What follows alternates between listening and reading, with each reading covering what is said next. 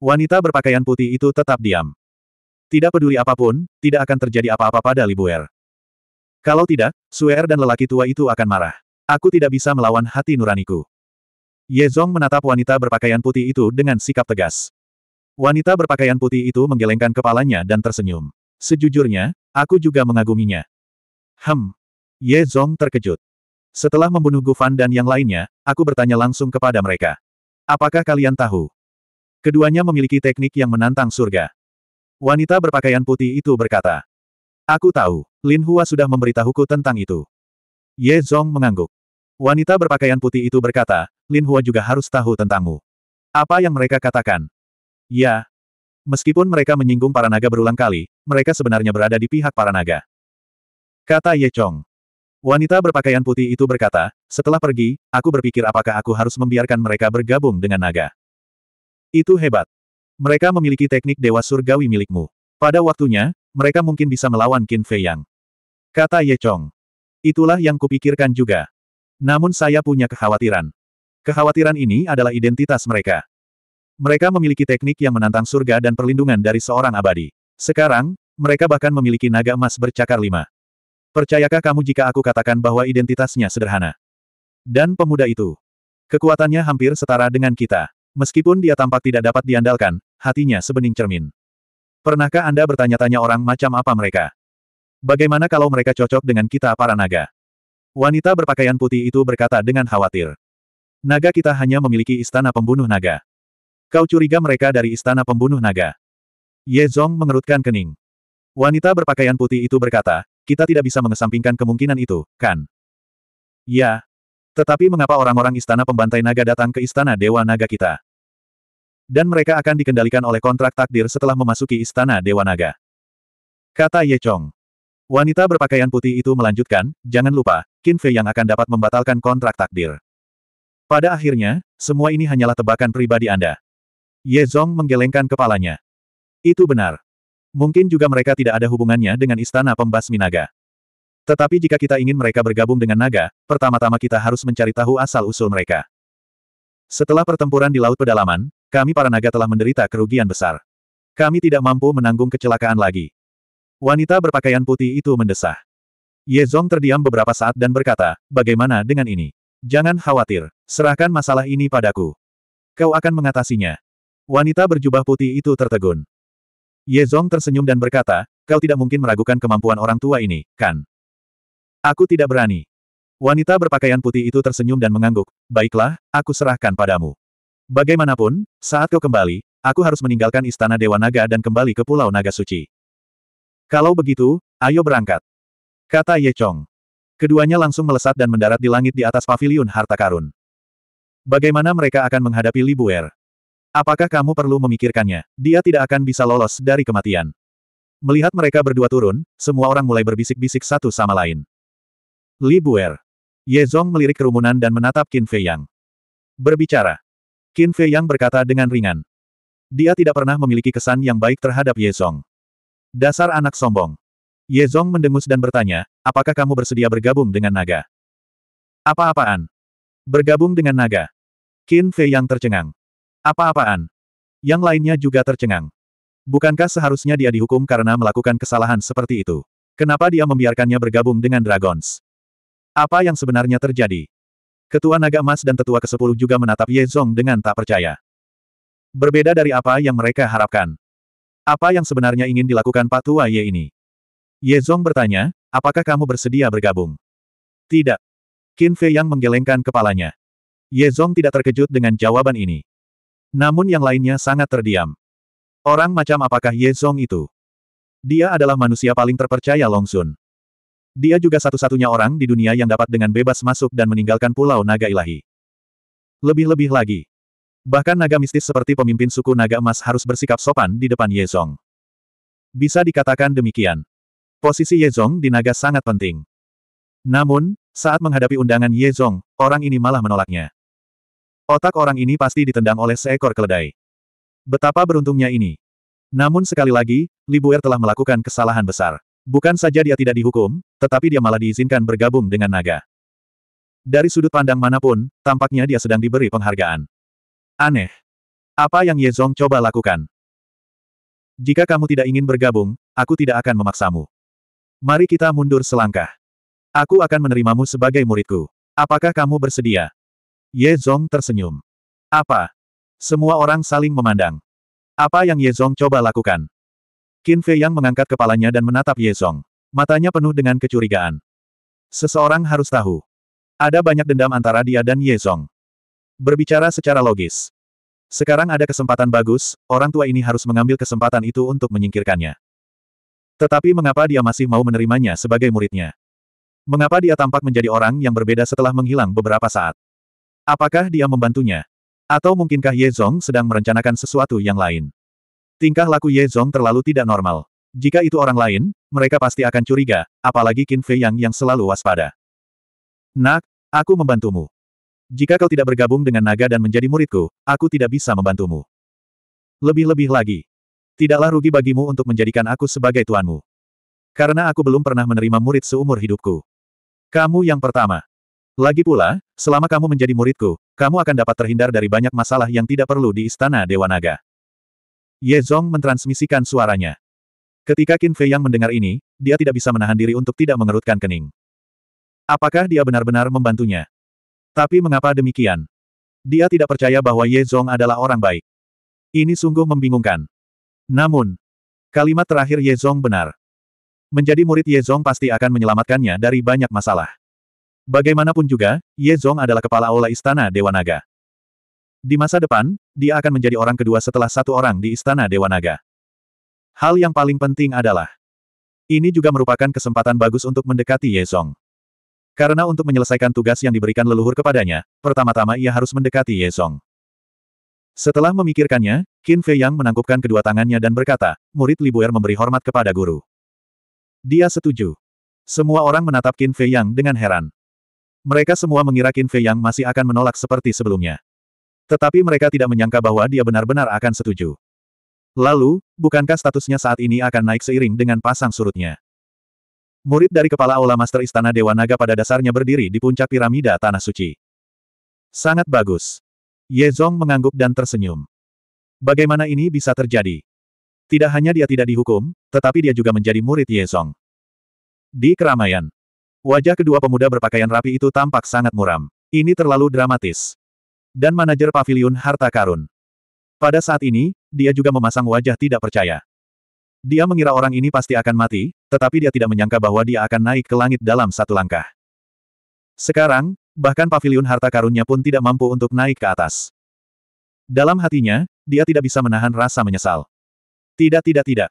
Masih ada kesempatan untuk menyelamatkannya. Lagi pula, dia tidak tahu apa yang aku rencanakan sebelumnya. Selama aku menemukannya api alkimia, aku pasti bisa membangun hubungan baik dengannya. Manajer paviliun harta karun bergumam. Titik. Pada saat yang sama, Qin Fei Yang juga memandang manajer paviliun harta karun dan kedua pemuda berpakaian rapi itu, dan sebuah seringai melintas di matanya. Langsung, Qin Fei Yang mendongak ke arah Ye Zong dan berkata sambil tersenyum, Guru, murid ini ingin hadiah ucapan selamat. Sudut mulut Ye Zong berkedut. Ini benar-benar tidak sopan. Namun karena banyaknya orang yang menonton, dia tidak bisa menolak, jadi dia bertanya, apa yang kamu inginkan? Qin Fei Yang menunjuk ke arah dua pemuda berpakaian rapi dan berkata, aku ingin kepala mereka. Apa? Wajah kedua pemuda berpakaian rapi itu tiba-tiba menjadi pucat. Dan Ye Zong, wanita berpakaian putih, tetua ke-10, ketua naga emas, dan yang lainnya semua memandang mereka berdua. Dia sebenarnya ingin memenggal kepala mereka berdua. Apakah mereka punya dendam? Qin Fei yang berkata, Guru, murid ini hanya punya satu permintaan kecil. Anda tidak akan menolaknya, kan? Ye Zong tersenyum pahit. Anak ini benar-benar tahu cara memanjat tiang. Oke.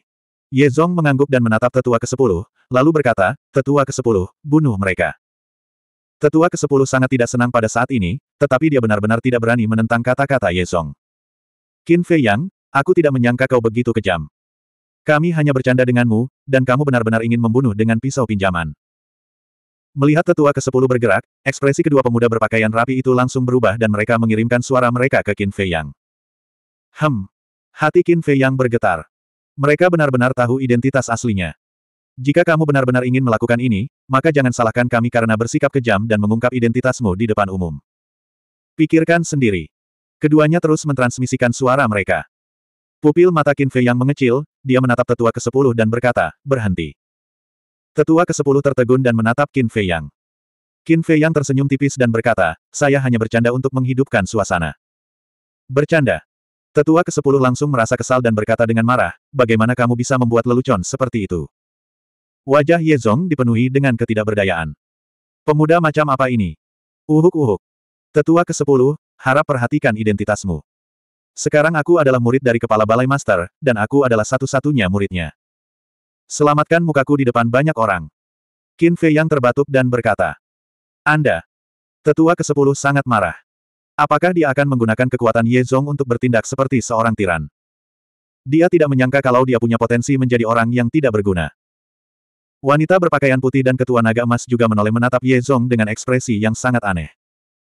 Seolah-olah mereka bertanya apakah bijaksana untuk menerimanya sebagai murid. Ye Zong tertawa datar dan melambaikan tangannya. Baiklah, baiklah, masalah ini sudah selesai. Li Buer, jika tidak ada yang lain, kembalilah ke Istana Dewa Naga. Jangan main-main di luar. Ya Tuan. Qin Fei yang mengangguk dan tersenyum. Ayo pergi. Ye Zong menatap wanita berpakaian putih itu dan berkata sambil tersenyum. Wanita berpakaian putih itu menggelengkan kepalanya dan berbalik untuk kembali ke Istana Dewa Naga. Tetua ke-10 melirik Qin Fei Yang, mendengus dari hidungnya, dan berbalik untuk pergi dengan marah. Ketua Naga Emas memandang Naga Emas Cakar Lima yang melayang di samping Qin Fei Yang dan juga pergi dengan sedikit rasa enggan.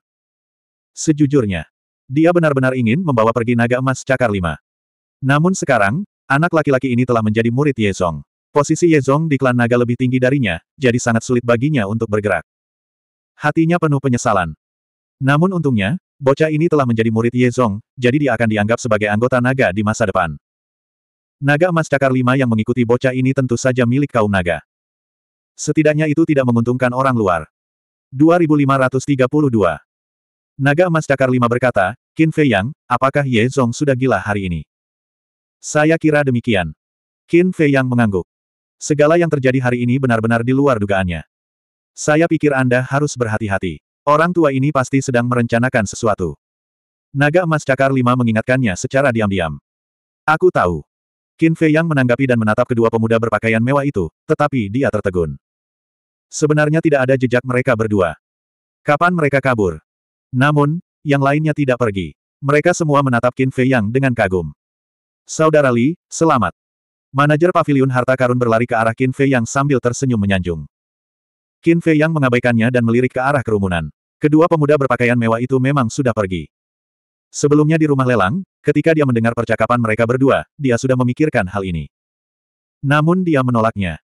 Karena hanya orang-orang istana pembunuh naga yang mengetahui identitasnya. Bahkan sangat sedikit orang di istana pembunuh naga yang mengetahui hal itu.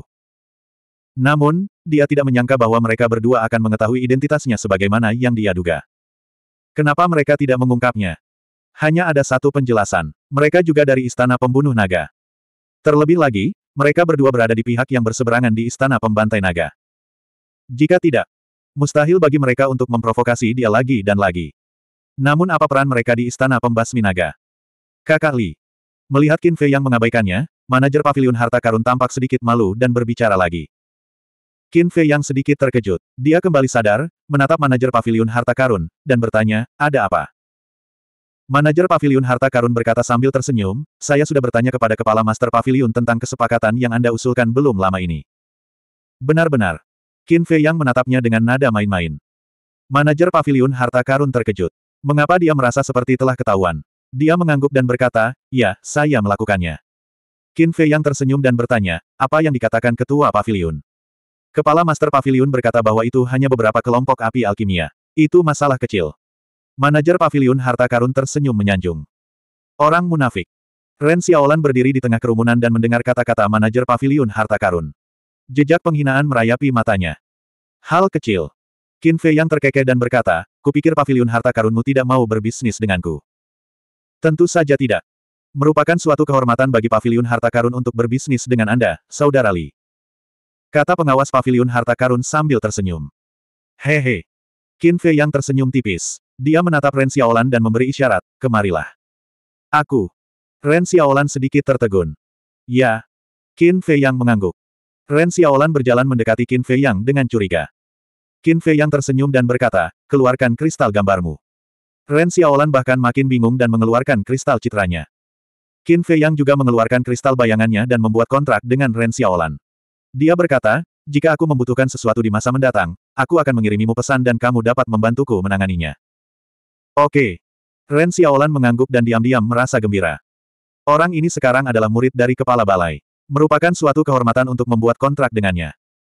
Terlebih lagi, di masa depan, dengan hubungan ini, dia pasti akan dihargai oleh paviliun harta karun dan mengalami peningkatan pesat sejak saat itu. Di sisi lain, ekspresi manajer paviliun harta karun agak jelek. Sebagai manajer paviliun harta karun, orang ini tidak membuat kontrak dengannya tetapi memilih membuat kontrak dengan anggota staf biasa. Bukankah ini sengaja membuat keadaan menjadi sulit baginya? Qin Fei Yang menatap manajer paviliun harta karun dan berkata sambil tersenyum, ingat apa yang akan kukatakan. Di masa depan, aku hanya akan berbisnis dengan Ren Xiaolan. Ekspresi manajer paviliun harta karun membeku.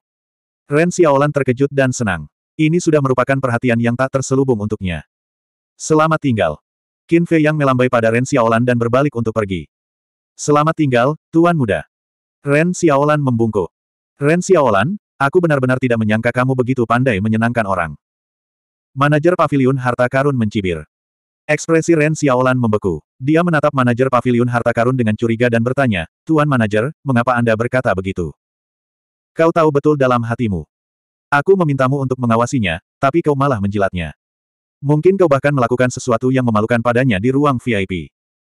Manajer Paviliun Harta Karun berpikir dalam hati. Tuan Manajer, jelaskan dengan jelas. Hal memalukan apa? Saya bisa mengerti kalau Anda tidak puas dengan saya, tapi Anda tidak bisa menghina karakter saya. Selain itu, aku juga bekerja di paviliun harta karun. Ren Xiaolan berkata dengan marah. Huff. Manajer paviliun harta karun mendengus dan melihat ke arah kerumunan di sekitarnya. Apa yang kalian lihat? Apa yang bisa dilihat? Enyahlah. Ketika orang banyak mendengar ini, mereka segera bubar. Qin Fei yang tidak takut pada manajer paviliun harta karun, tetapi mereka takut. Karena di mata orang biasa, manajer paviliun harta karun bagaikan dewa. Manajer paviliun harta karun memandang staf paviliun harta karun dan berteriak, apa yang kalian tunggu? Cepatlah bangun kembali paviliun harta karun. Kelompok staf segera mulai sibuk. Ren Xiaolan menghela nafas diam-diam dan juga bergabung dalam pembangunan kembali paviliun harta karun. Manajer paviliun harta karun menatap Ren Xiaolan dengan seringai di kedalaman matanya. Di luar kota. Di puncak gunung tertentu. Qin Fei yang berdiri sendirian di tepi tebing, menatap pegunungan di bawah dengan mata berkedip-kedip. Adapun naga emas cakar lima, ia masih menempel di pergelangan tangan Qin Fei Yang. Jin kecil, jika mereka berdua benar-benar dari istana pembunuh naga, menurutmu apa yang harus kulakukan? Qin Fei Yang tiba-tiba berkata. Memangnya kenapa kalau mereka dari istana pembunuh naga? Karena mereka berani memprovokasi kita, mereka harus bersiap mati. Naga emas cakar lima penuh dengan permusuhan. Qin Fei Yang menggelengkan kepalanya dan tersenyum, lalu mengeluarkan kristal gambar. Berdengung. Setelah beberapa saat, bayangan virtual Jiang Dafei muncul dan berkata dengan hormat, Salam, Tuan Muda. Baiklah. Qin Fei Yang mengangguk. Aku baru saja hendak pergi ke paviliun harta karun untuk mencarimu, tetapi aku mendengar apa yang terjadi di sana dan mengira kau sudah pergi. Selamat. Jiang Dafei berkata sambil tersenyum.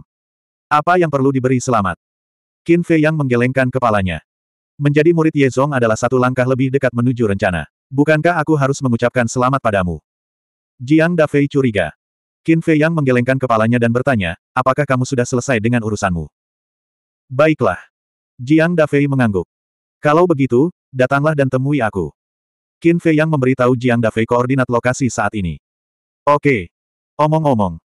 Lei Bing dan Wang Qi mendengar bahwa aku akan pergi ke dunia penyu hitam untuk berkultivasi dan mereka ingin ikut denganku. Apakah kalian setuju? Jiang Dafei bertanya dengan hati-hati. Siapa Wang Qi? Qin Fei yang curiga. Dia telah menghabiskan beberapa waktu bersama Lei Bing, jadi dia tahu bahwa Lei Bing adalah mata-mata di kota ular. Namun, Wang Qi adalah orang asing baginya.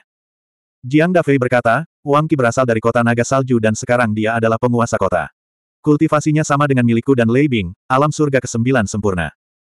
Jadi begitu. Kalau begitu, biarkan mereka ikut denganku. Kata Qin Fei Yang. Terima kasih, Tuan Muda. Saya akan segera memberitahu mereka. Jiang Dafei mengucapkan terima kasih dan mematikan kristal gambar. Sesaat kemudian, tiga sosok muncul di belakang Qin Fei Yang. Salah satunya adalah Jiang Dafei. Salah satu dari dua lainnya adalah seorang pria kekar berpakaian hitam. Yang satunya adalah seorang pria tua berambut putih. Dia bungkuk tapi matanya tajam. Pria berambut hitam itu adalah Lei Bing. Pria tua berambut putih itu tidak diragukan lagi adalah Wang Qi. Salam, Tuan Muda. Mereka bertiga membungkuk. Qin Fei Yang menatap mereka bertiga, lalu menatap Lei Bing dan Wang Qi. Ia tersenyum dan berkata, jika kalian ingin berkultivasi di alam kura-kura hitam, kalian bisa langsung memberitahuku. Kalian tidak perlu terlalu berhati-hati. Keduanya saling memandang dengan gembira di hati mereka. Mereka membungkuk dan berkata, terima kasih, Tuan Muda. Qin Fei yang tersenyum dan berkata, Anda datang di waktu yang tepat. Saya ingin bertanya tentang dua orang. Siapa? Ketiganya mencurigakan. Qin Fei yang melambaikan tangannya dan kedua pemuda berpakaian mewah muncul. Ketiganya menatap kedua pemuda berpakaian mewah itu dengan sedikit kecurigaan di mata mereka. Kamu belum pernah melihatnya sebelumnya.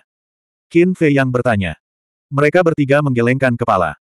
Qin Fei yang berkata, saya menduga mereka dari Istana Pembunuh Naga. Istana Pembunuh Naga. Mereka bertiga tercengang. Kedua orang ini terus-menerus memprovokasi saya di paviliun harta karun. Mereka bahkan tahu siapa saya, jadi saya harus mencari tahu akar permasalahannya. Kata Qin Fei Yang. Mereka tahu identitasmu. Maka dari itu, masalah ini sungguh tidak bisa dianggap enteng. Tetapi Tuan Muda, jika mereka benar-benar dari Istana Pembunuh Naga, tidak ada gunanya bertanya kepada kami. Karena kamu tahu ada banyak orang di Istana Pembunuh Naga yang tidak kita kenal. Kita harus bertanya kepada Jenderal Ilahi mengenai hal ini. Ketiganya berkata dengan suara rendah. Qin Fei yang merenung sejenak dan berkata, kirim pesan padanya. Aku akan bertanya padanya. Oke. Jiang Dafei mengangguk dan mengeluarkan kristal gambar. Berdengung. Segera. Seorang pria bertopeng berbaju besi hitam muncul. Ketika Jenderal Ilahi melihat Qin Fei yang di sampingnya, dia langsung melotot ke arah mereka bertiga dan berkata sambil tersenyum, Tuan Muda, selamat. Mengapa kamu melotot ke arah mereka? Apakah kamu tidak senang melihatku?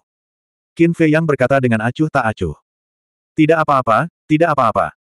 Sang Jenderal Ilahi melambaikan tangannya. Izinkan saya bertanya, siapakah mereka?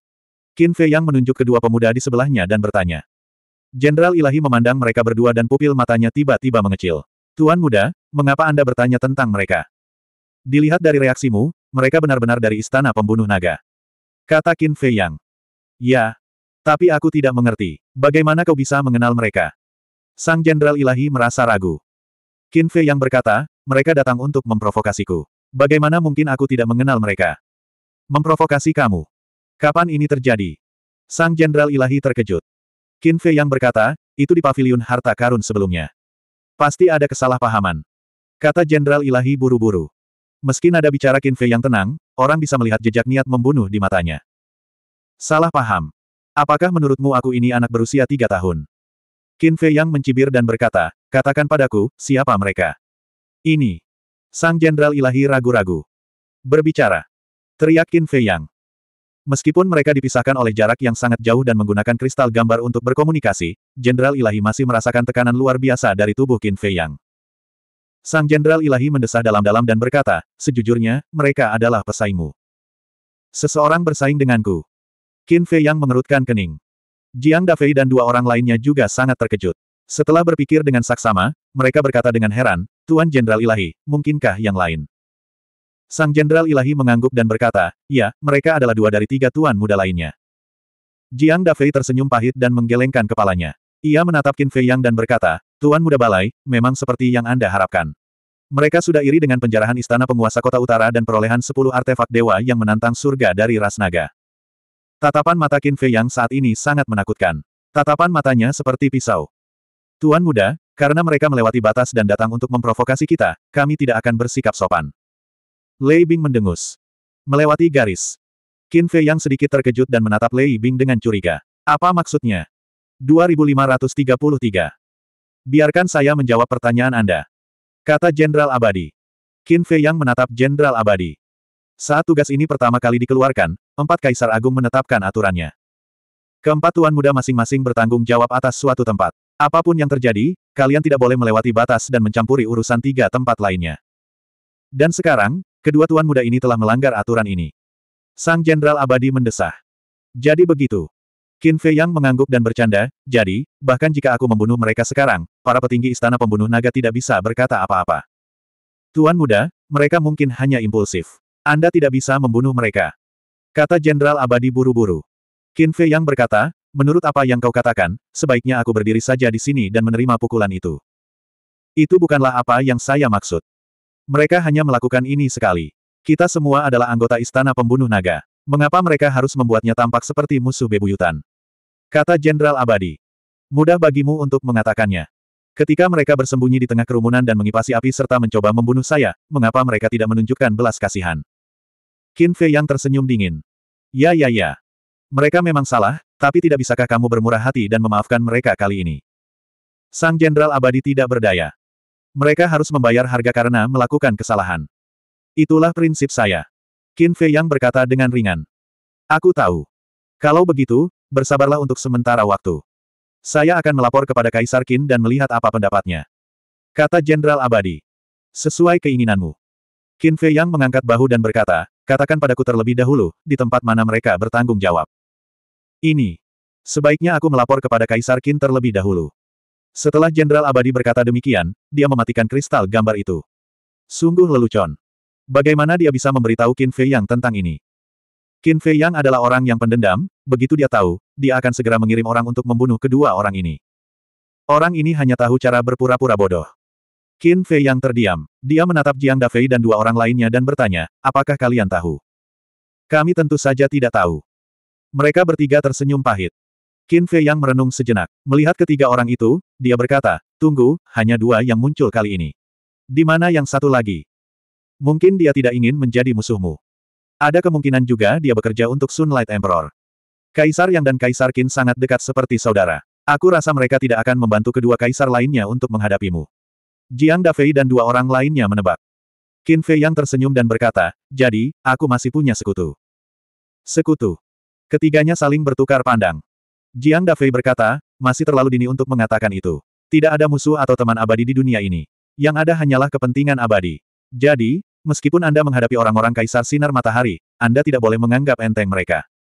Lei Bing dan Wang Qi juga mengangguk. Qin Fei yang menatap mereka bertiga dan mengangguk tanda menghargai. Kesadaran yang bagus. Mereka bertiga mengusap-usap kepala mereka dan merasa sedikit malu. Baiklah, kamu tidak perlu khawatir tentang hal ini. Aku akan mengurusnya. Pergilah dan berkultivasilah dalam pengasingan. Qin Fei yang melambaikan tangannya dan mengirim mereka bertiga ke alam kura-kura hitam. Kemudian, Qin Fei yang menundukkan kepalanya dan merenung. Waktu berlalu dengan napas. Tiba-tiba, Qin Fei yang menatap naga emas cakar lima dan berkata, emas kecil, pergilah ke barat, selatan, dan timur untuk menyelidikinya. Berhati-hatilah untuk menyembunyikan identitasmu. Saya berjanji untuk menyelesaikan tugas itu. Naga emas cakar lima itu terbang ke udara dan menatap Qin Fei Yang. Kemudian dia terbang menjauh tanpa menoleh ke belakang. Melihat naga emas cakar lima pergi, Qin Fei Yang mencibir. Jadi kenapa kalau mereka dari istana pembunuh naga? Selama mereka berani memprovokasi dia, dia tidak akan membiarkan mereka pergi. Kemudian, Qin Fei yang memanggil si gila dan kembali ke istana Dewa Naga. Saudara Li, selamat, selamat. Saya berharap Saudara Li akan menjaga saya di masa depan. Ketika Qin Fei Yang dan si gila muncul di lembah, sekelompok besar orang segera mengelilingi mereka dengan sanjungan di wajah mereka. Jelas sekali. Mereka semua menerima berita itu dan merasa iri dalam hati mereka. Dia benar-benar dihargai oleh Master Istana Agung dan diterima sebagai murid. Orang ini terlalu beruntung. Namun, Qin Fei yang hanya tersenyum tipis. Orang gila itu sama sekali tidak menghiraukan orang-orang itu dan langsung masuk ke dalam gua. Li Buer. Tiba-tiba, sebuah teriakan terdengar. Orang-orang di sekitar lembah segera mendongak dan melihat seorang penegak hukum turun dari langit. Lin Hua. Apa masalahnya? Qin Fei yang berdiri di pintu masuk gua dan menatap Lin Hua dan bertanya. Lin Hua juga mengubah sikap sebelumnya dan wajahnya penuh rasa hormat. Berdasarkan perintah dari Master Istana Agung, kamu dan orang gila diundang ke Pulau ke-10. Lin Hua mendarat di depan gua dan berkata sambil tersenyum menyanjung. Apa? Dia benar-benar pergi langsung ke Pulau ke-10. Ya ampun, ini benar-benar sebuah langkah menuju langit. Konon katanya monster-monster di Istana Dewa Naga pada dasarnya semuanya ada di Pulau ke-10. Orang-orang yang berkumpul di atas merasa iri. Namun, Qin Fei yang berkata dengan wajah tenang, tidak tertarik. Jangan ganggu kami. Orang gila itu juga berkata pada Lin Hua. Lalu, keduanya memasuki gua tanpa menoleh ke belakang dan membentuk batas kekuatan ilahi. Lin Hua tercengang. Kelompok orang di atas juga sangat terkejut. Pulau ke-10 merupakan tempat yang diimpikan oleh para pengikut istana Dewa Naga untuk dikunjungi. Karena memasuki pulau ke-10 adalah simbol status dan identitas. Namun mereka tidak menyangka kedua orang ini akan langsung menolak. Mereka benar-benar dua spesies yang berbeda. Mereka memang berbeda dari yang lain. Lin Hua tersadar dan menggelengkan kepalanya sambil tersenyum masam. Dia membuka altar dan kembali melapor. Yang lainnya juga pergi satu demi satu. Qin Fei Yang dan orang gila juga memasuki kastil kuno. Orang gila itu berkultivasi dalam pengasingan. Qin Fei Yang fokus mempelajari seni penyembunyian dan seni naga bangkit. Sehari di luar sama saja dengan seratus tahun di kastil kuno. Setelah belajar dengan susah payah, Qin Fei Yang akhirnya menemukan arah untuk meningkatkan kedua teknik ilahi ini. Pagi selanjutnya, seorang wanita berpakaian putih datang ke istana Dewa Naga.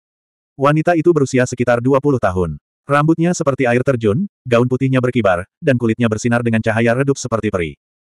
Wanita itu memasuki istana Dewa Naga dan langsung menuju pulau pertama. Siapa dia? Sangat cantik. Tapi kenapa aku tidak ingat wanita secantik itu di pulau pertama? Pakaian wanita itu berkibar-kibar seperti kupu-kupu seputih salju. Setiap pria yang melihatnya akan memiliki jejak keheranan di mata mereka. Ke mana dia pergi? Tunggu. Dia tampaknya akan pergi ke Lembah tempat Libuer berada. Mustahil. Apakah dia akan menemukan Libuer? Bajingan ini, dasar anjing sial, apa sialnya? Semua orang marah. Pertama, dia diterima sebagai murid oleh Grand Hall Master, dan kini seorang wanita tiada taraf datang menemuinya. Mengapa semua hal baik ini terjadi padanya? Wanita berpakaian putih itu berhenti di langit di atas lembah dan meliriknya. Pandangannya akhirnya jatuh ke gua, dan senyum muncul di wajahnya yang sebening kristal. Libuer. Dia berbicara lembut, dan suaranya menyenangkan bagaikan suara alam. Tapi pada saat ini, Qin Fei yang terfokus pada pengasingannya. Dan dia takut diganggu, maka dia sengaja menutup kelima indranya. Saat ini, dia baru saja mencapai momen kritis. Karena itu, dia sama sekali tidak mendengar suara wanita berpakaian putih itu. Wanita berpakaian putih itu menunggu sebentar dan sedikit tertegun. Bukankah dia ada di dalam gua? Libuer, mengapa kamu berpura-pura? Kami semua tahu kamu ada di dalam gua. Ada yang mencarimu, cepat keluar. Beberapa pemalas yang tidak tahan lagi menatap gua dan berteriak. Namun, wanita berpakaian putih itu tidak menghargainya, dan mereka yang menentang merasa sedikit jijik, tetapi mereka tidak mengatakan apa-apa. Nona, Libuer ini terlalu kasar, mengapa Anda tidak datang ke gua kami terlebih dahulu? Tetapi orang-orang itu sama sekali tidak menyadarinya, dan wajah mereka penuh dengan sanjungan. Wanita berpakaian putih itu menutup telinga dan menatap gua itu dengan tenang. Waktu berlalu dengan tenang. Wah! Di ruang budidaya. Aura Qin Fei yang tiba-tiba melambung tinggi. Dia mencapai Great Accomplishment Paragon dalam sekejap. Tapi itu belum berakhir. Auranya masih membumbung tinggi. Wah! Momen berikutnya.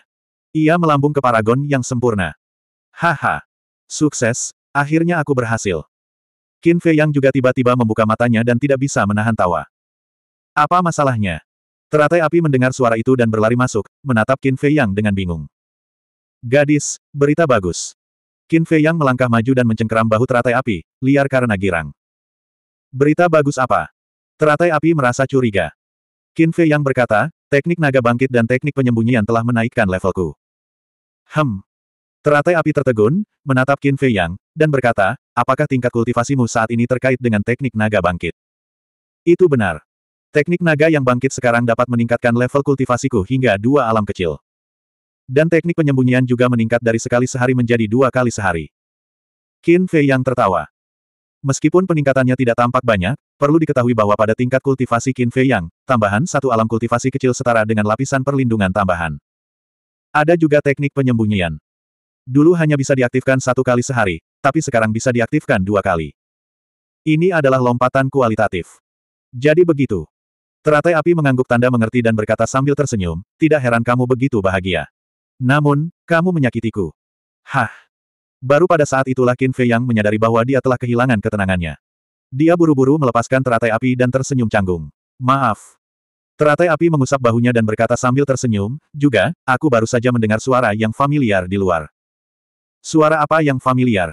Qin Fei yang curiga. Teratai api berkata, sepertinya dia adalah wanita yang kau bantu di pavilion harta karun. Tidak mungkin. Mengapa dia ada di Istana Dewa Naga? Qin Fei yang tercengang. Bagaimana saya tahu? Teratai api terdiam. Baiklah, aku akan keluar dan melihatnya. Qin Fei yang menonaktifkan teknik naga bangkit dan kultivasinya kembali ke level dewa-dewa. Dia muncul di gua tempat tinggal dan berjalan menuju pintu masuk. Benarkah itu dia? Ketika dia melihat wanita berpakaian putih, ekspresi Qin Fei yang langsung berubah menjadi terkejut. Wanita berpakaian putih itu bagaikan bunga anggrek di lembah yang kosong. Dia berdiri dengan tenang di langit di atas lembah, memancarkan aura yang tenang. Apakah kamu tidak mengenali saya? Wanita berpakaian putih itu juga melihat Qin Fei Yang, dia mendarat di lembah Qin Fei Yang dan berdiri di hadapan Qin Fei Yang sambil tersenyum. Anda, kamu sedikit berbeda dari saat kamu berada di paviliun harta karun, jadi aku tidak berani mengenalimu. Kata Qin Fei Yang. Perbedaannya memang cukup besar. Ketika mereka berada di paviliun harta karun, pakaian wanita itu sedikit compang camping dan ada kotoran di tubuhnya. Yang paling penting, dia tampak sangat kuyu. Namun sekarang, dia bersinar dan tak tertandingi. Perbedaan. Wanita berpakaian putih itu tertegun. Dia menatap dirinya sendiri dan menggelengkan kepalanya sambil tersenyum. Aku telah mempermalukan diriku sendiri. Tidak. Qin Fei yang melambaikan tangannya. 2534. Wanita berpakaian putih itu tersenyum manis dan bertanya, apakah kamu tidak akan mengundangku masuk? Ini. Qin Fei yang menggelengkan kepalanya. Gua tempat tinggalku mungkin akan dibenci olehmu. Apakah begitu? Kalau begitu, saya jadi penasaran.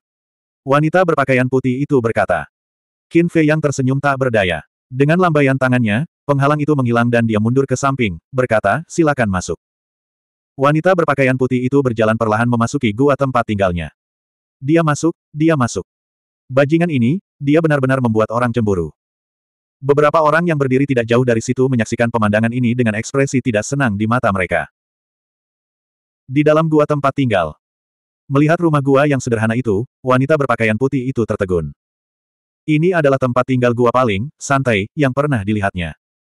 Tidak ada apa-apa. Bagaimana ini bisa disebut tempat tinggal gua? Itu hanyalah sebuah gua.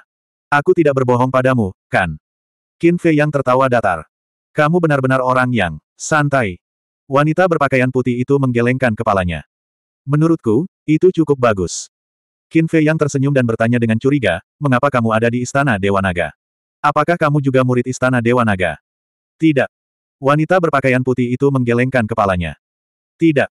Lalu bagaimana kau bisa masuk ke Istana Dewa Naga? Qin Fei yang tercengang. Ini sebuah rahasia. Wanita berpakaian putih itu tersenyum misterius dan berkata, sebenarnya, aku datang menemuimu kali ini untuk mengucapkan terima kasih secara langsung. Terima kasih. Qin Fei yang sedikit terkejut dan menggelengkan kepalanya. Tidak apa-apa, ini hanya masalah kecil. Bagimu, ini mungkin masalah kecil, tapi bagiku, ini lebih penting daripada hidupku. Saya juga di sini untuk mengundang Anda ke rumah saya sebagai tamu. Wanita berpakaian putih itu berkata.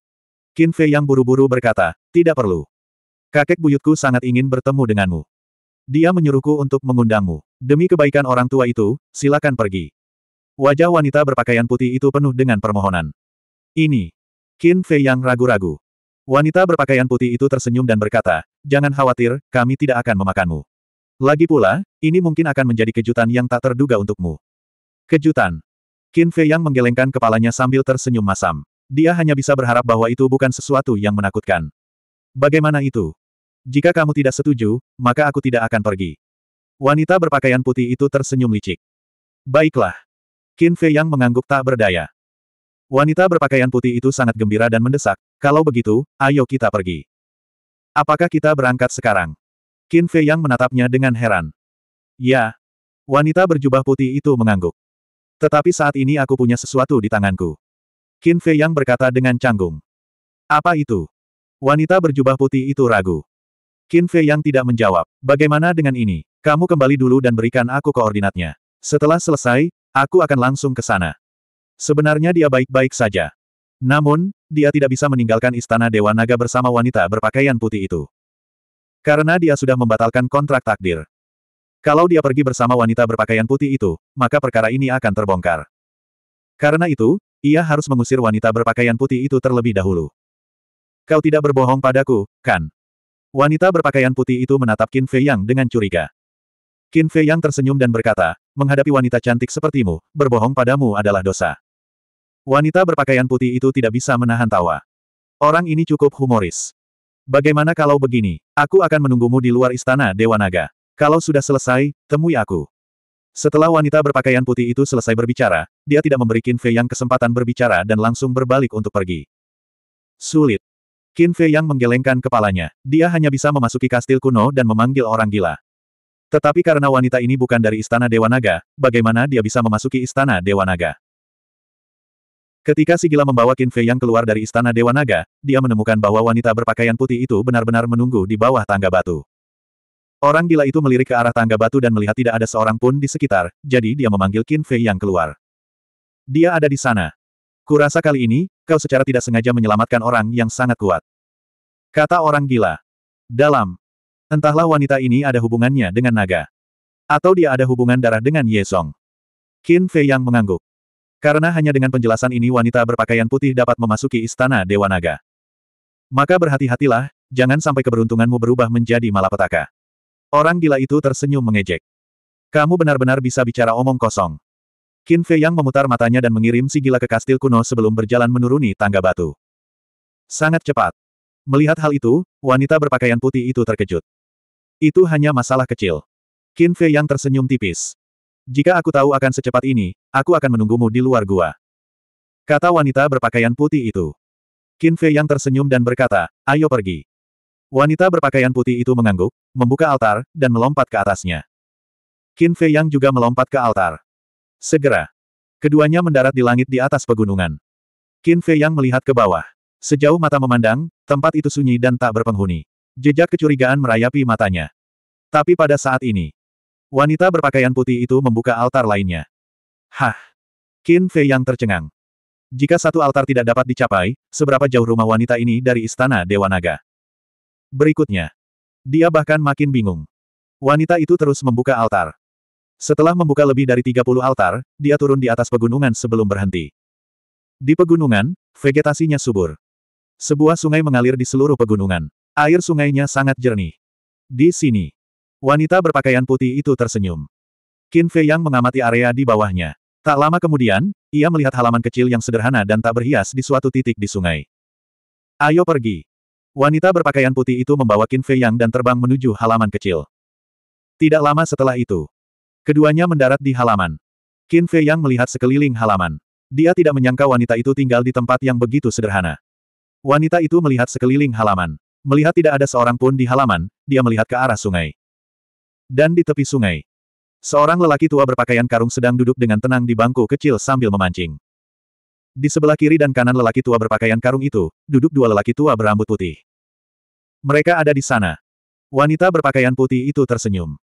Qin Fei yang berbalik dan menatap tajam ke punggung kedua lelaki tua berambut putih itu. Mengapa kedua punggung ini begitu familiar? Qin Fei yang mengikuti di belakang wanita berpakaian putih itu dan berjalan di sepanjang jalan setapak di depan halaman menuju sungai. Semakin dia memperhatikan, semakin dia merasa kedua punggung itu tidak asing. Tunggu.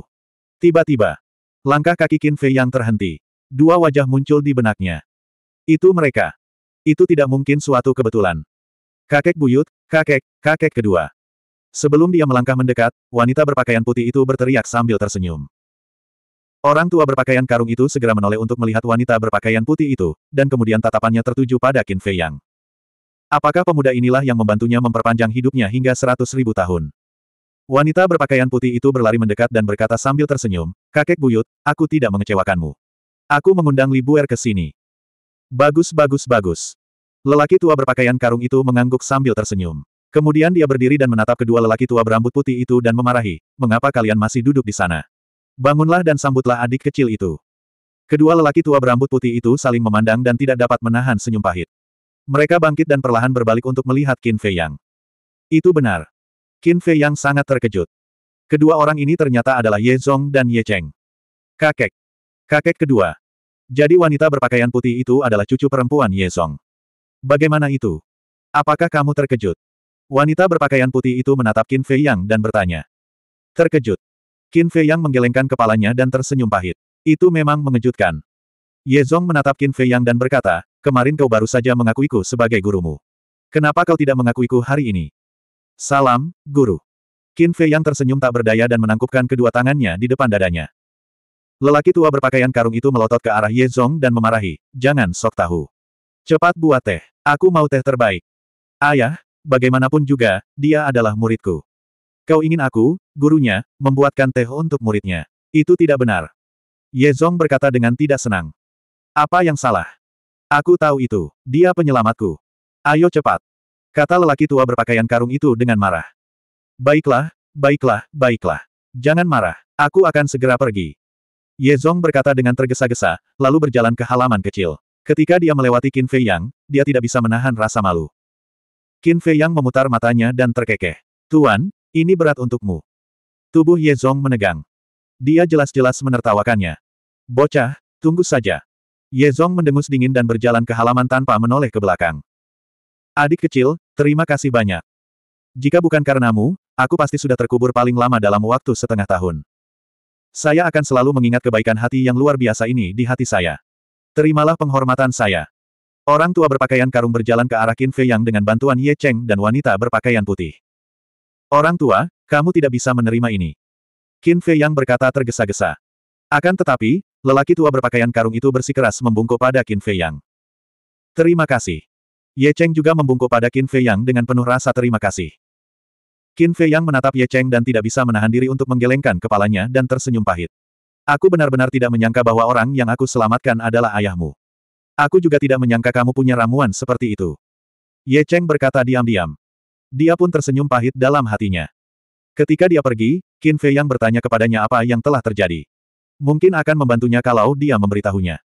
Tapi pada saat itu, dia tidak percaya bahwa Qin Fei Yang dapat membantunya. Tanpa diduga, Sue Er bertemu Qin Fei Yang secara kebetulan dan mendapat ramuan penyelamat hidup. Dua hari ini dia terus-menerus memarahi dirinya sendiri dalam hati. Jika dia bisa mempercayai Qin Fei yang saat itu, akankah dia membuang begitu banyak waktu? Bahkan, jika Sue, Er tidak bertemu Qin Fei yang secara kebetulan, ayah tuanya pasti sudah meninggal. Pada saat itu, itu semua menjadi tanggung jawabnya. Karena dia kehilangan kesempatan untuk menyelamatkan ayahnya yang sudah tua. Ketika ayahnya yang sudah tua meninggal dunia, percuma saja mengetahui bahwa Qin Fei yang mempunyai ramuan penyelamat nyawa. Agar lebih serius, dia hampir membunuh ayahnya yang sudah tua. Tehnya sudah siap. Suara Yezong terdengar di halaman. Adik kecil, ayo kita pergi minum teh. Orang tua berpakaian karung itu memandang Qin Fei Yang dan tersenyum. Oke. Qin Fei Yang mengangguk. Mereka berempat kembali ke halaman. Orang tua berpakaian karung itu tiba-tiba berkata, Ngomong-ngomong, adik kecil, aku lupa bertanya padamu tadi. Kamu suka teh atau anggur? Saya tidak minum. Namun, junior ini cukup menyukai teh. Qin Fei Yang tersenyum. Tidak buruk, tidak buruk. Jarang sekali anak muda zaman sekarang yang tidak minum. Anggur ini, diminum sedikit saja tidak apa-apa, tetapi jika diminum terlalu banyak akan berbahaya bagi tubuh. Tidak senyaman minum teh. Lelaki tua berpakaian karung itu tersenyum lega. Semakin dia memandang Qin Fei Yang, semakin dia menyukainya. 2535. Ya. Qin Fei Yang mengangguk. Tidak heran Ye Cheng sangat menyukai teh. Ternyata dia memiliki seorang ayah yang sangat menyukai teh. Memasuki halaman, Qin Fei yang duduk di meja batu di bawah sambutan hangat dari lelaki tua berpakaian karung. Teh di atas meja bergelembung dan aroma teh memenuhi udara. Wanita berpakaian putih itu mencium aroma teh dan menatap Qin Fei yang sambil tersenyum. Ini adalah teh yang diberikan kakek kedua kepada kakek buyut. Ini adalah teh terbaik. Cobalah. Teh terbaik. Qin Fei yang tercengang. Namun, Ye Cheng memiliki ekspresi canggung di wajahnya. Teh jenis apa yang paling enak? Itu tidak pada tingkat yang sama dengan teh yang diminum Qin Fei Yang. Orang tua berpakaian karung itu memandang Ye Zong yang duduk di samping dan berkata, apa yang sedang kamu lakukan? Cepatlah tuangkan teh untuk kami. Uhuk-uhuk. Ye Zong langsung tersedak dan batuk dengan keras. Kamu sudah menyeduh teh dan kamu masih ingin aku menyeduhnya. Ayahku, tidak bisakah kau tinggalkan aku sedikit muka? Bagaimana saya bisa menghadapi murid ini di masa mendatang? Wanita berpakaian putih itu sangat bijaksana. Melihat ketidakpuasan Ye Zong, dia berdiri dan mengambil teko dan tersenyum. Biar aku yang melakukannya. Gerakannya sangat anggun dan memiliki perilaku seorang wanita dari keluarga bangsawan. Saat ini, Ye Zongchai menghela nafas lega. Untungnya, ada seorang cucu perempuan yang berperilaku baik dan membantunya. Wanita berpakaian putih itu menuangkan teh untuk mereka satu persatu dan menatap Qin Fei Yang sambil tersenyum. Coba saja. Qin Fei Yang mengambil cangkir teh dan mengendusnya. Bukankah ini teh yang diberikan Ye Cheng kepadaku terakhir kali di balai tugas? Dan dari awal sampai akhir, Ye Cheng memiliki ekspresi canggung di wajahnya. Karena dia telah mencicipi teh Qin Fei yang di dunia kura-kura hitam. Itulah teh terbaik yang sesungguhnya. Bagaimana itu? Orang tua berpakaian karung itu menatap Qin Fei yang penuh harap. Qin Fei yang melirik Ye Cheng di sebelahnya, mencicipinya sedikit, lalu mengangguk sambil tersenyum. Tehnya memang enak. Uhuk-uhuk. Ye Cheng terbatuk kering, dan ekspresinya menjadi semakin canggung. Saya tidak punya banyak hobi. Satu-satunya hal yang saya suka lakukan adalah minum teh. Jadi, saya sering meminta mereka berdua untuk menyiapkan teh yang enak untuk saya. Jika kamu menyukainya, aku bisa memberimu beberapa sebagai hadiah untuk pertemuan pertama kita. Orang tua berpakaian linen itu tersenyum. Kamu masih memberiku hadiah. Ye Cheng benar-benar tidak bisa duduk diam dan buru-buru berkata, ayah, jika Anda ingin minum teh, minumlah saja teh. Mengapa Anda berbicara begitu banyak? Sungguh lelucon. Teh orang lain seribu kali lebih enak dari ini, tidak, sepuluh ribu kali lebih enak. Bagaimana mungkin mereka menyukai teh jenis ini? Dia bahkan memberinya hadiah ucapan selamat. Sungguh memalukan. Orang tua berpakaian karung itu berkata dengan marah, adik kecil, kau telah menyelamatkan hidupku yang lama dan kau bahkan tidak mau memberiku sedikit pun daun teh. Ayahku yang sudah tua. Itu bukanlah apa yang saya maksud. Aku akan jujur padamu. Libuer hanya bersikap sopan padamu. Ye Cheng berkata dengan nada getir. Apa maksudmu? Orang tua berpakaian linen itu curiga. Ye Zong dan wanita berpakaian putih itu juga menatap Ye Cheng dengan bingung. Qin Fei yang berkata, wakil kepala istana, jangan bahas ini lagi, kalau-kalau nanti jadi canggung. Saya khawatir kalau saya tidak membicarakannya, keadaan akan semakin canggung nantinya. Ye Cheng menggelengkan kepalanya dan menatap lelaki tua berpakaian linen itu. Libuer punya jenis teh yang berkali-kali lebih enak dari teh kita. Orang tua berpakaian linen itu sedikit terkejut dan buru-buru menatap Qin Fei Yang, lalu bertanya, adik kecil, benarkah itu? Qin Fei Yang menggelengkan kepalanya dan tersenyum pahit. Orang tua, aku memang lebih suka tehku sendiri, tapi itu hanya seleraku. Tolong jangan salah paham. Salah paham apa? Baik itu baik. Dalam aliran teh, tidak ada yang namanya kecanggungan. Karena adikku punya teh yang enak, bolehkah aku mencicipinya? Pria tua berpakaian linen itu menatap Qin Fei Yang dengan penuh semangat. Tuan ayah, Anda, Ye Cheng sedikit frustrasi. Mengapa saya tidak bisa mengubah kebiasaan buruk saya ini? Begitu aku mendengar ada teh yang enak, aku akan langsung memesannya tanpa peduli aku tahu atau tidak. Itu terlalu kasar. Ye Zong memasang ekspresi tak berdaya di wajahnya. Jelas sekali. Ayahnya yang tua ini juga cukup membuat pusing. Namun, wanita berpakaian putih itu menatap Qin Fei Yang dengan rasa ingin tahu. Ini. Qin Fei Yang ingin menolak, takut situasinya akan canggung, tetapi melihat mata lelaki tua berpakaian linen itu, dia tidak bisa menolak. Oke. Qin Fei Yang mengeluarkan sebuah toples teh yang masih tersegel, yang dibuat oleh teratai api dan belum dibuka. Ia tersenyum dan berkata, orang tua, aku akan memberikan ini kepadamu. Aku harap kamu tidak keberatan. Tentu saja tidak, tentu saja tidak. Pria tua berpakaian linen itu melambaikan tangannya dan menatap Ye Zong. Cepat, ganti tehnya. Wajah Ye Zong menegang dan dia melirik wanita berpakaian putih itu. Mengapa kamu melihat Sue Er? Sue, Er dan saudara Li sama-sama muda. Mereka punya topik yang sama untuk dibicarakan saat mereka bersama. Kamu sudah sangat tua, kenapa kamu ikut bersenang-senang? Ayo cepat. Orang tua berpakaian linen itu menghardik dengan marah.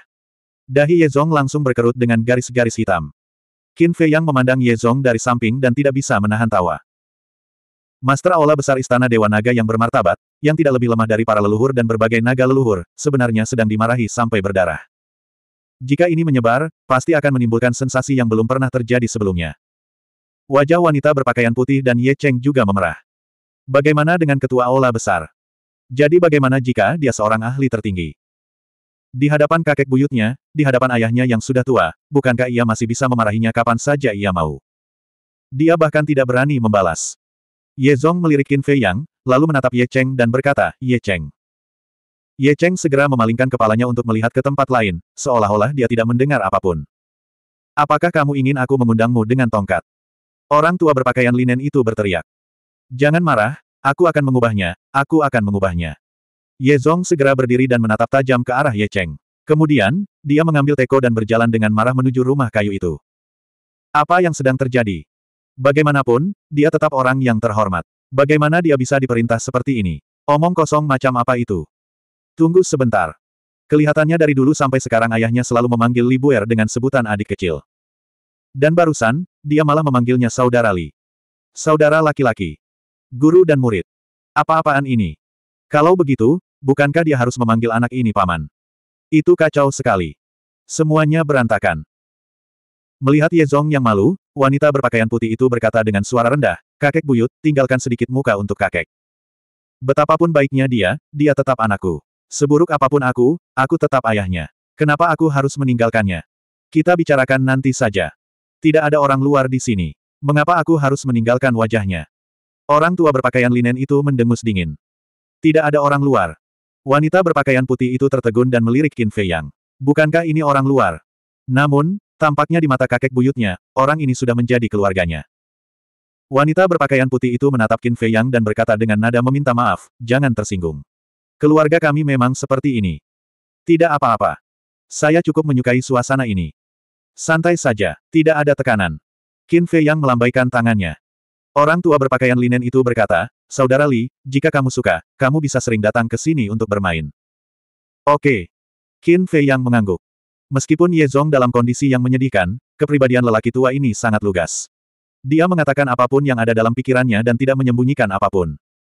Dia tidak seperti orang munafik yang mengatakan satu hal di permukaan dan hal lain di belakang mereka. Wanita berpakaian putih itu berdiri dan mengulurkan tangannya di depan Qin Fei Yang. Dia tersenyum dan berkata, perkenalkan diri saya secara resmi. Saya Ye Suer, cucu perempuan Ye Zong. Li Buer, bukan siapa-siapa. Qin Fei Yang juga berdiri dan tersenyum. Dia menjabat tangan Ye Suer dengan lembut lalu menariknya kembali. Jika kamu bukan siapa-siapa, lalu aku siapa? Sekarang di utara, siapa yang tidak tahu namamu? Li Bu, Er. Yesue, R menggelengkan kepalanya dan kembali ke bangku batu. Qin Fei yang tersenyum tipis dan berkata, reputasi belum tentu merupakan hal yang baik. Orang tua berpakaian linen itu mengamati Qin Fei Yang dan berkata sambil tersenyum, Saudara Li, bolehkah saya menanyakan sesuatu? Teruskan. Qin Fei Yang berkata sambil tersenyum. Kamu tinggal di mana? Siapa yang ada di keluargamu? Kata lelaki tua berpakaian linen itu. Qin Fei Yang tercengang. Apakah dia sedang memeriksa pintu masuk rumah? Ye Cheng juga terkejut dan buru-buru berkata, Ayah, mengapa kamu menanyakan ini? Dia tahu identitas Qin Fei Yang. Dan identitas Qin Fei Yang adalah ladang ranjau yang tidak dapat disentuh. Ya, kakek buyut. Itu terlalu lancang. Ye Suer juga tidak senang.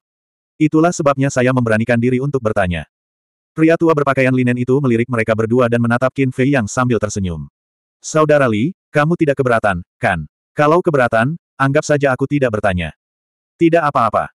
Qin Fei Yang menggelengkan kepalanya dan berkata sambil tersenyum, sebenarnya, aku juga tidak tahu dari mana asalku. Apa maksudmu? Orang tua berpakaian linen itu curiga. Kakek yang hebat. Jika dia berkata begitu, maka pasti ada masa lalu yang menyakitkan. Bukankah kamu sengaja membuatnya merasa tidak nyaman dengan mencari akar permasalahannya? Kata Yesuir dengan tidak senang. Lelaki tua berpakaian linen itu tertegun dan mengangguk. Ya, ya, ya, saudara Li, saya benar-benar minta maaf. Tidak apa-apa. Qin Fei yang tersenyum tipis. Saat ini, Ye Zong berjalan keluar sambil memegang teko di tangannya dan terlihat sangat tenang. Orang tua berpakaian linen itu segera menatap teko dan menantikannya. Ye Zong membuka teko. Semburan wangi teh langsung meluap. Hem.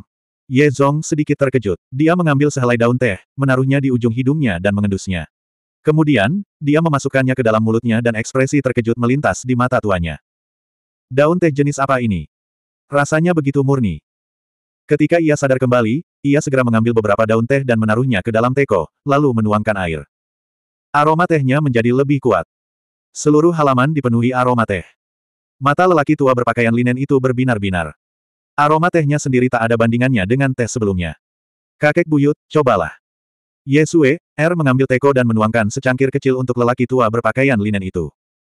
Secara umum, daun teh harus disaring. Dengan kata lain, teh pertama harus dituang. Hal ini disebabkan banyak daun teh yang memiliki rasa pahit saat pertama kali disajikan.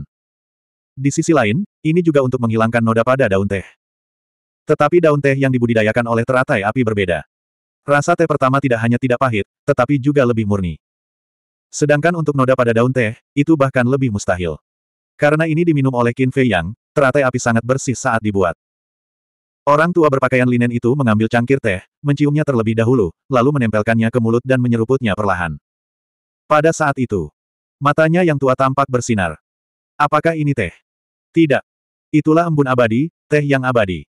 Dia tidak pernah minum teh seenak itu seumur hidupnya. Ye Zong menatap ayahnya yang sudah tua dan mengambil cangkir teh itu lalu mencicipinya. Matanya penuh dengan rasa iri. Ini memang bukan sesuatu yang dapat dibandingkan dengan daun teh mereka. Orang tua berpakaian linen itu menatap Qin Fei Yang dan bertanya, Saudara Li, bolehkah saya bertanya, dari mana Anda mendapatkan daun teh ini? Qin Fei yang tersenyum dan berkata, itu dibudidayakan secara pribadi oleh adik perempuanku. Luar biasa. Saudara Li sungguh orang yang diberkati karena memiliki saudari yang sangat pandai dalam membudidayakan pohon teh. Saya sungguh iri. Kata lelaki tua berpakaian linen itu. Senior, kamu menyanjungku. Qin Fei yang menggelengkan kepalanya. Orang tua berpakaian linen itu menatap Ye Zong dan berkata, di masa depan, saat kamu mengirimiku teh, kamu juga harus mengirim daun teh seperti itu. Ayah, Apakah ayah tidak mempersulit kami? Saudara-saudaranya tersenyum pahit. Saya tidak peduli. Jika tidak sebanding dengan teh ini, jangan kirimkan padaku. Kata lelaki tua berpakaian linen itu dengan wajah dingin. Oke oke oke. Keduanya mengangguk tak berdaya. Orang tua berpakaian linen itu berkata, kalau begitu, kalian berdua, cepatlah memasak. Kami memasak. Keduanya membelalakan mata mereka dan melompat. Apa? Apakah kamu ingin aku memasaknya sendiri? Wajah lelaki tua berpakaian linen itu tegas. Ketika dia melihat mereka berdua menatap Yesuer, dia berkata dengan marah, jangan lihat Suer, pergilah sendiri. Mendesah. Saudara-saudaranya bangkit, menggelengkan kepala, mendesah, dan berjalan menuju bangunan kayu itu. Sejak kapan orang dengan status dan kedudukan seperti mereka memasak untuk diri mereka sendiri? Bukankah ini membuat keadaan menjadi sulit bagi mereka? Orang tua ini benar-benar tahu cara menyiksa orang. 2536. Qin Fei yang melihat punggung mereka dan tidak bisa menahan tawa. Ini adalah pertama kalinya dia melihat Ye Zong begitu boros. Itu juga membuktikan satu hal. Tidak peduli seberapa kuat seseorang, masih saja ada orang yang mereka takuti. Kakek. Tiba-tiba. Yesuer berdiri dan memanggil Yezong. Apa? Yezong berbalik dan menatapnya dengan tidak senang. Dia tampaknya menyalahkan Yesuer karena tidak membantunya. Yesuer mengeluarkan token berwarna putih susu dari tangannya dan menyerahkannya kepada Yezong. Pupil mata Qin Fei yang mengecil. Dia pernah melihat tanda ini sebelumnya. Ye Cheng juga punya satu. Menurut Ye Cheng, jumlah total token adalah tiga. Mereka berada di tangan saudara-saudara dan kaisar binatang di laut dalam. Ternyata Yesuer telah mengambil token ini untuk memasuki Aula Dewa Naga. Ini dia. Hati-hati saat memasak, jangan sampai membakar rumah. Yesuer menahan tawanya dan berkata. Gadis malang. Yezong menatap tajam ke arah Yesuer, menyimpan token itu, dan memasuki bangunan kayu itu. Setelah beberapa saat, asap mengepul dari dapur. Titik. Saudara Li, kemarilah, minumlah teh. Orang tua berpakaian linen itu menyambut Qin Fei Yang dengan hangat. Kakek senior, kamu harus mengubah cara kamu menyapanya, kamu tidak bisa merusak senioritas. Qin Fei Yang menggelengkan kepalanya dan tersenyum pahit. Itu benar. Jika kamu memanggilnya saudara, bagaimana aku harus memanggilnya di masa depan? Yesuir tidak berdaya. Semakin sering dia meneleponnya, semakin lancar jadinya. Haha. Itu benar. Lelaki tua berpakaian linen itu mengusap kepala Yesuir dan menatap Qin Fei Yang. Kalau begitu, Katakan padaku, bagaimana aku harus memanggilmu di masa depan? Qin Fei yang merenung. Sejujurnya, bentuk sapaan ini sungguh merepotkan. Karena perbedaan senioritas terlalu besar. Yesuer berpikir sejenak dan tersenyum. Bukankah namanya Li Buer? Kenapa kamu tidak memanggilnya Xiao Li, Xiao, Er? Itu tidak sopan. Orang tua berpakaian linen itu menggelengkan kepalanya. Di sana. Tidak. Yesuer ragu. Lelaki tua itu menggelengkan kepalanya dan tersenyum. Ia menatap Qin Fei Yang dan berkata, bagaimana kalau begini, lelaki tua ini akan memanggilmu teman kecil Li mulai sekarang. Tentu.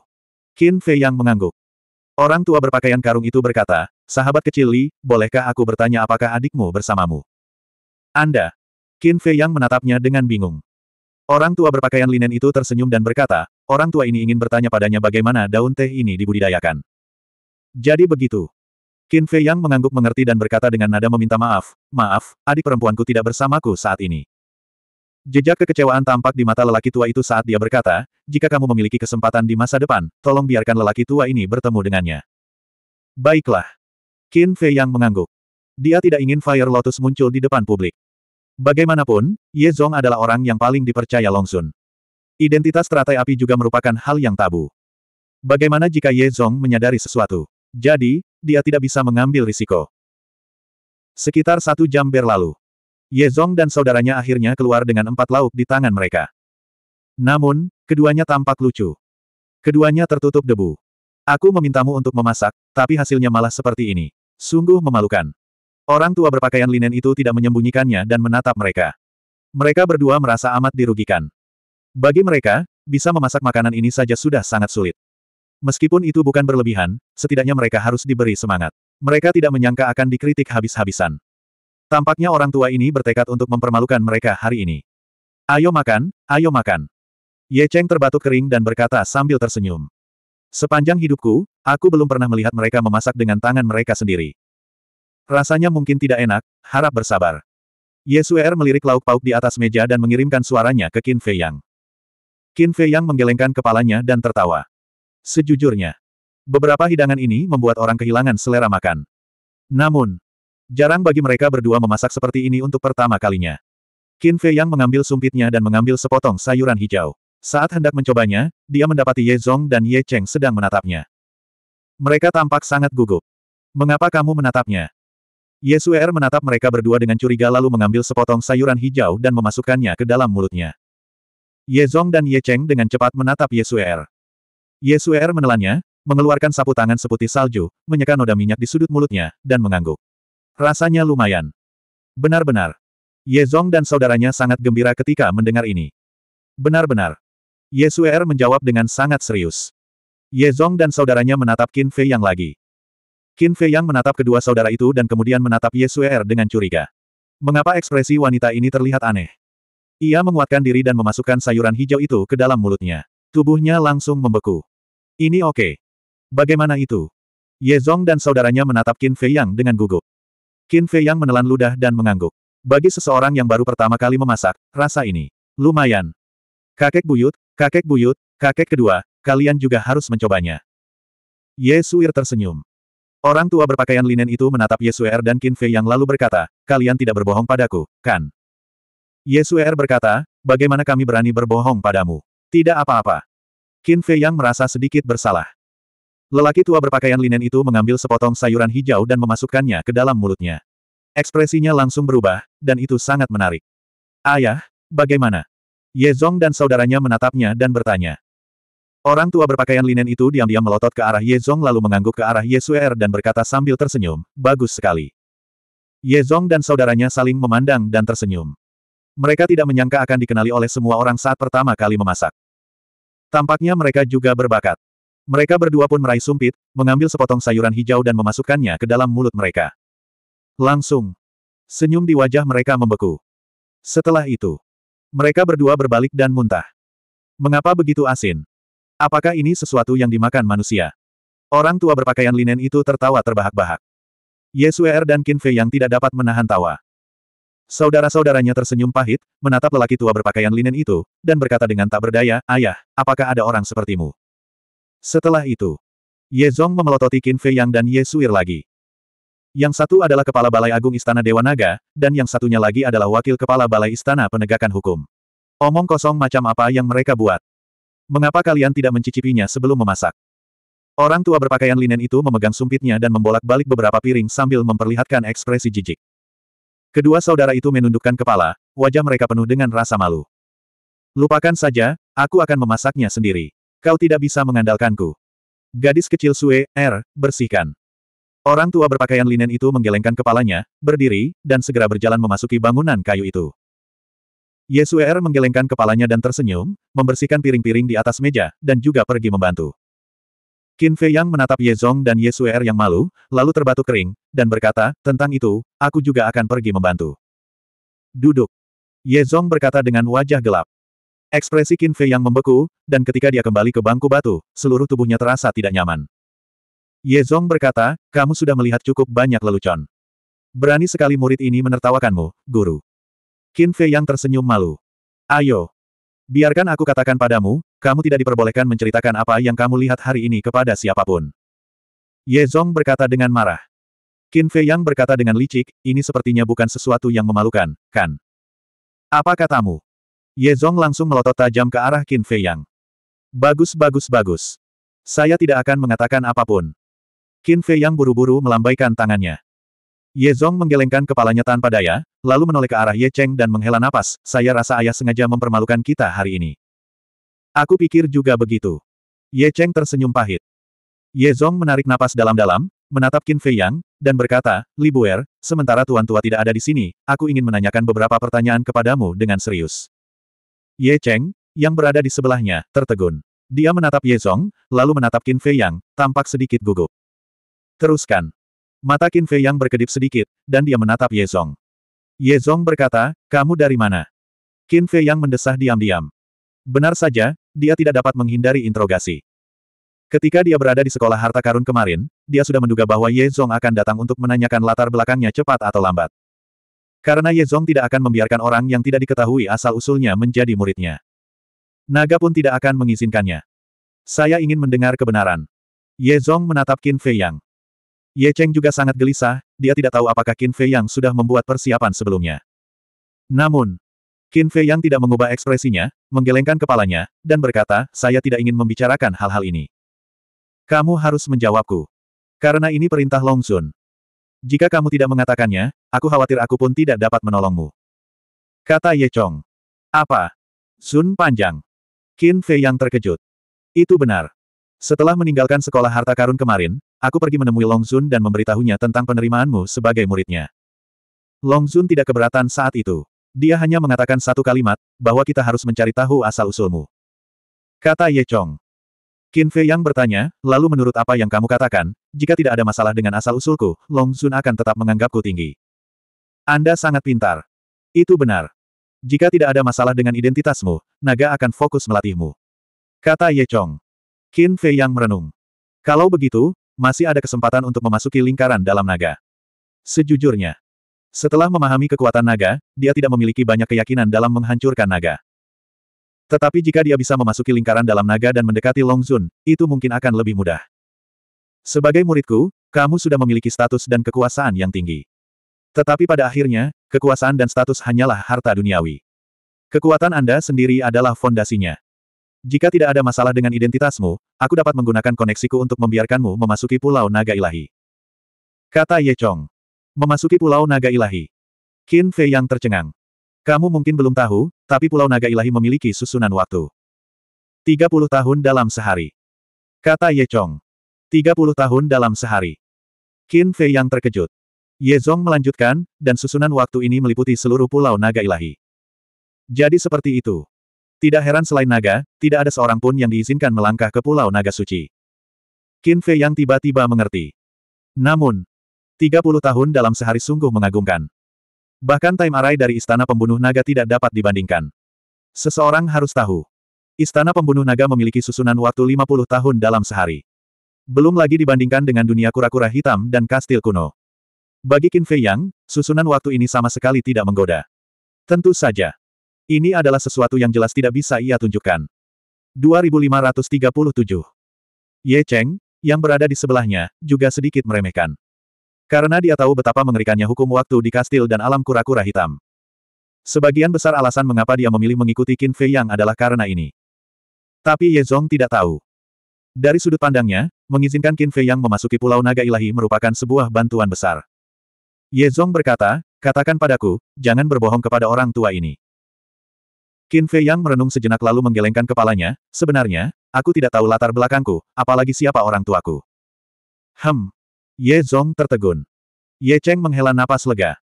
Melihat ekspresi santai Qin Fei Yang, dia seharusnya sudah siap. Aku tidak akan menyembunyikannya darimu. Saya dibesarkan oleh seorang pria tua. Kata Qin Fei Yang. Pria tua. Ye Zong curiga. Aku tidak tahu namanya. Konon katanya dia menjemputku di hutan belantara. Saat dia menggendongku, aku masih bayi. Orang tua itu tidak tahu siapa orang tuaku, jadi dia membiarkanku memakai nama keluarganya, Li. Dia memberiku nama Li Buer karena suatu alasan. Dia ingin aku menjadi orang yang menepati janjiku, apa pun yang terjadi atau siapa pun yang kutemui saat aku dewasa. Menjadi orang yang jujur dan tegas. Kata Qin Fei Yang. Siapa nama orang tua itu? Di mana dia sekarang? Ye Zong bertanya. Namanya Li Xiao Yao. Saya selalu memanggilnya Paman Li. Adapun di mana Paman Li sekarang? Saya benar-benar tidak tahu. Orang tua itu adalah burung bangau liar yang tidak memiliki tempat tinggal tetap. Sejak aku keluar untuk menjelajahi dunia, dia telah menjelajahi dunia. Sampai sekarang, dia belum menghubungi saya. Qin Fei yang menggelengkan kepalanya. Burung bangau liar. Ye Zong mengerutkan kening dan bertanya, bisakah kamu menghubunginya? Saya tidak bisa. Saat kami berpisah, dia takut aku akan terlalu bergantung padanya, jadi dia menghapus kontrak di kristal gambar. Qin Fei yang menghela nafas. Li Xiaoyao. Ye Zong mengerutkan kening. Dia telah berada di prefektur ilahi selama bertahun-tahun yang tak terhitung jumlahnya. Siapa pun yang memiliki sedikit ketenaran pada dasarnya tahu satu atau dua hal. Namun, dia belum pernah mendengar nama Li Xiaoyao. Qin Fei Yang berkata dengan tenang, dia tidak peduli dengan ketenaran dan kekayaan dan suka bepergian. Saya rasa tidak banyak orang yang tahu namanya. Ye Zong merenung sejenak dan bertanya, apa tingkat kultivasi orang tua itu? Saya tidak begitu yakin tentang hal itu. Singkatnya, di mataku, lelaki tua itu tak terduga. Qin Fei yang menggelengkan kepalanya. Ye Zong bahkan lebih bingung. Kau melihat Xiao Jin di pavilion harta karun kemarin, kan? Xiao Jin adalah tunggangannya. Kata Qin Fei Yang. Apa? Naga emas cakar lima sebenarnya adalah tunggangannya. Ye Zong terkejut. Tentu saja. Baginya, Xiao Jin lebih seperti keluarganya. Qin Fei Yang berkata sambil tersenyum. Ye Zong bertanya, lalu bagaimana dengan wanita tua yang membantumu membunuh Tuan Pulau saat kau memasuki istana Dewa Naga? Wanita tua ini adalah teratai api yang menyamar. Tentu saja Qin Fei Yang tidak bisa mengatakan yang sebenarnya. Dia berkata, dia adalah pembantu Paman Li, tetapi bagi Paman Li, dia juga keluarga. Mereka semua di sini untuk melindungimu. Ye Zong tidak dapat mempercayainya sama sekali. Seorang pelayan memiliki tingkat kultivasi alam tak terkalahkan setengah langkah. Dan tunggangannya bukan hanya naga emas cakar lima, tetapi juga seorang pemula dalam kultivasi alam tak terkalahkan. Lalu seberapa kuatkah Li Xiaoyao yang disebut ini? Mereka melindungiku, tetapi yang lebih penting lagi, mereka merawatku. Oleh karena itu, saya sangat berterima kasih kepada Paman Li. Beliaulah yang membesarkan saya dan mengajari saya cara berkultivasi. Di mataku, dia adalah kakekku. Kata Qin Fei Yang. Ye Zong berkata sambil tersenyum, untuk dapat mengembangkan bakat sepertimu, dia jelas bukan orang biasa. Aku benar-benar ingin bertemu dengan lelaki tua ini. Qin Fei Yang berkata sambil tersenyum tipis, masih ada jalan panjang, masih ada kesempatan. Satu pertanyaan lagi, di mana pemuda itu? Apa hubunganmu dengan dia?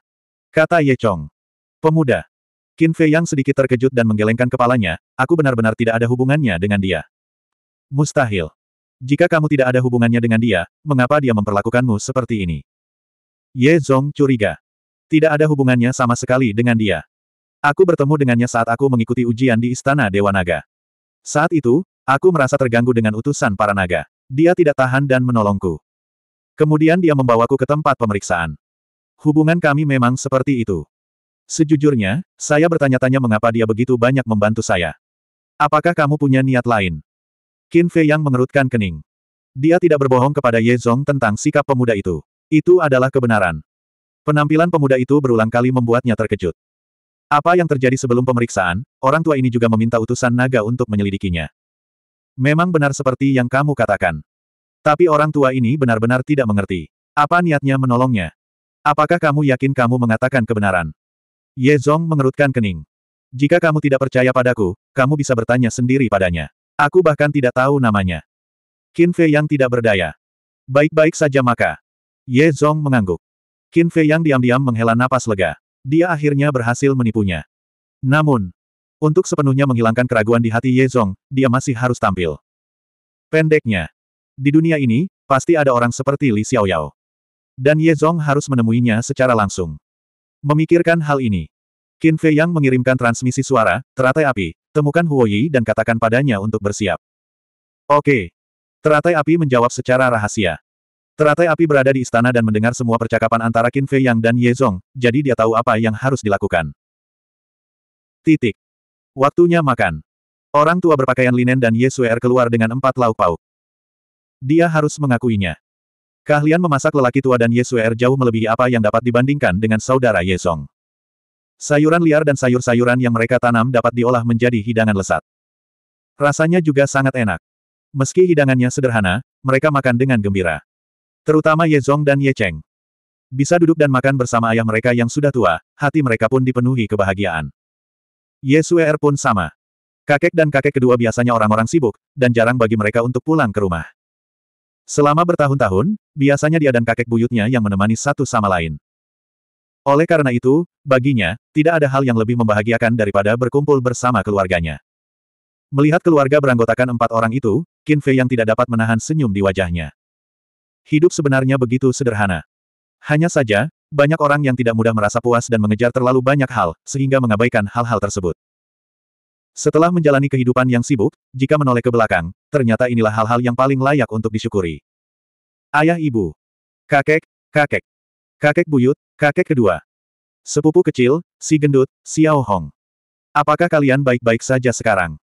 Sosok-sosok itu terus-menerus muncul dalam benaknya. Hati Qin Fei Yang sangat merindukan mereka.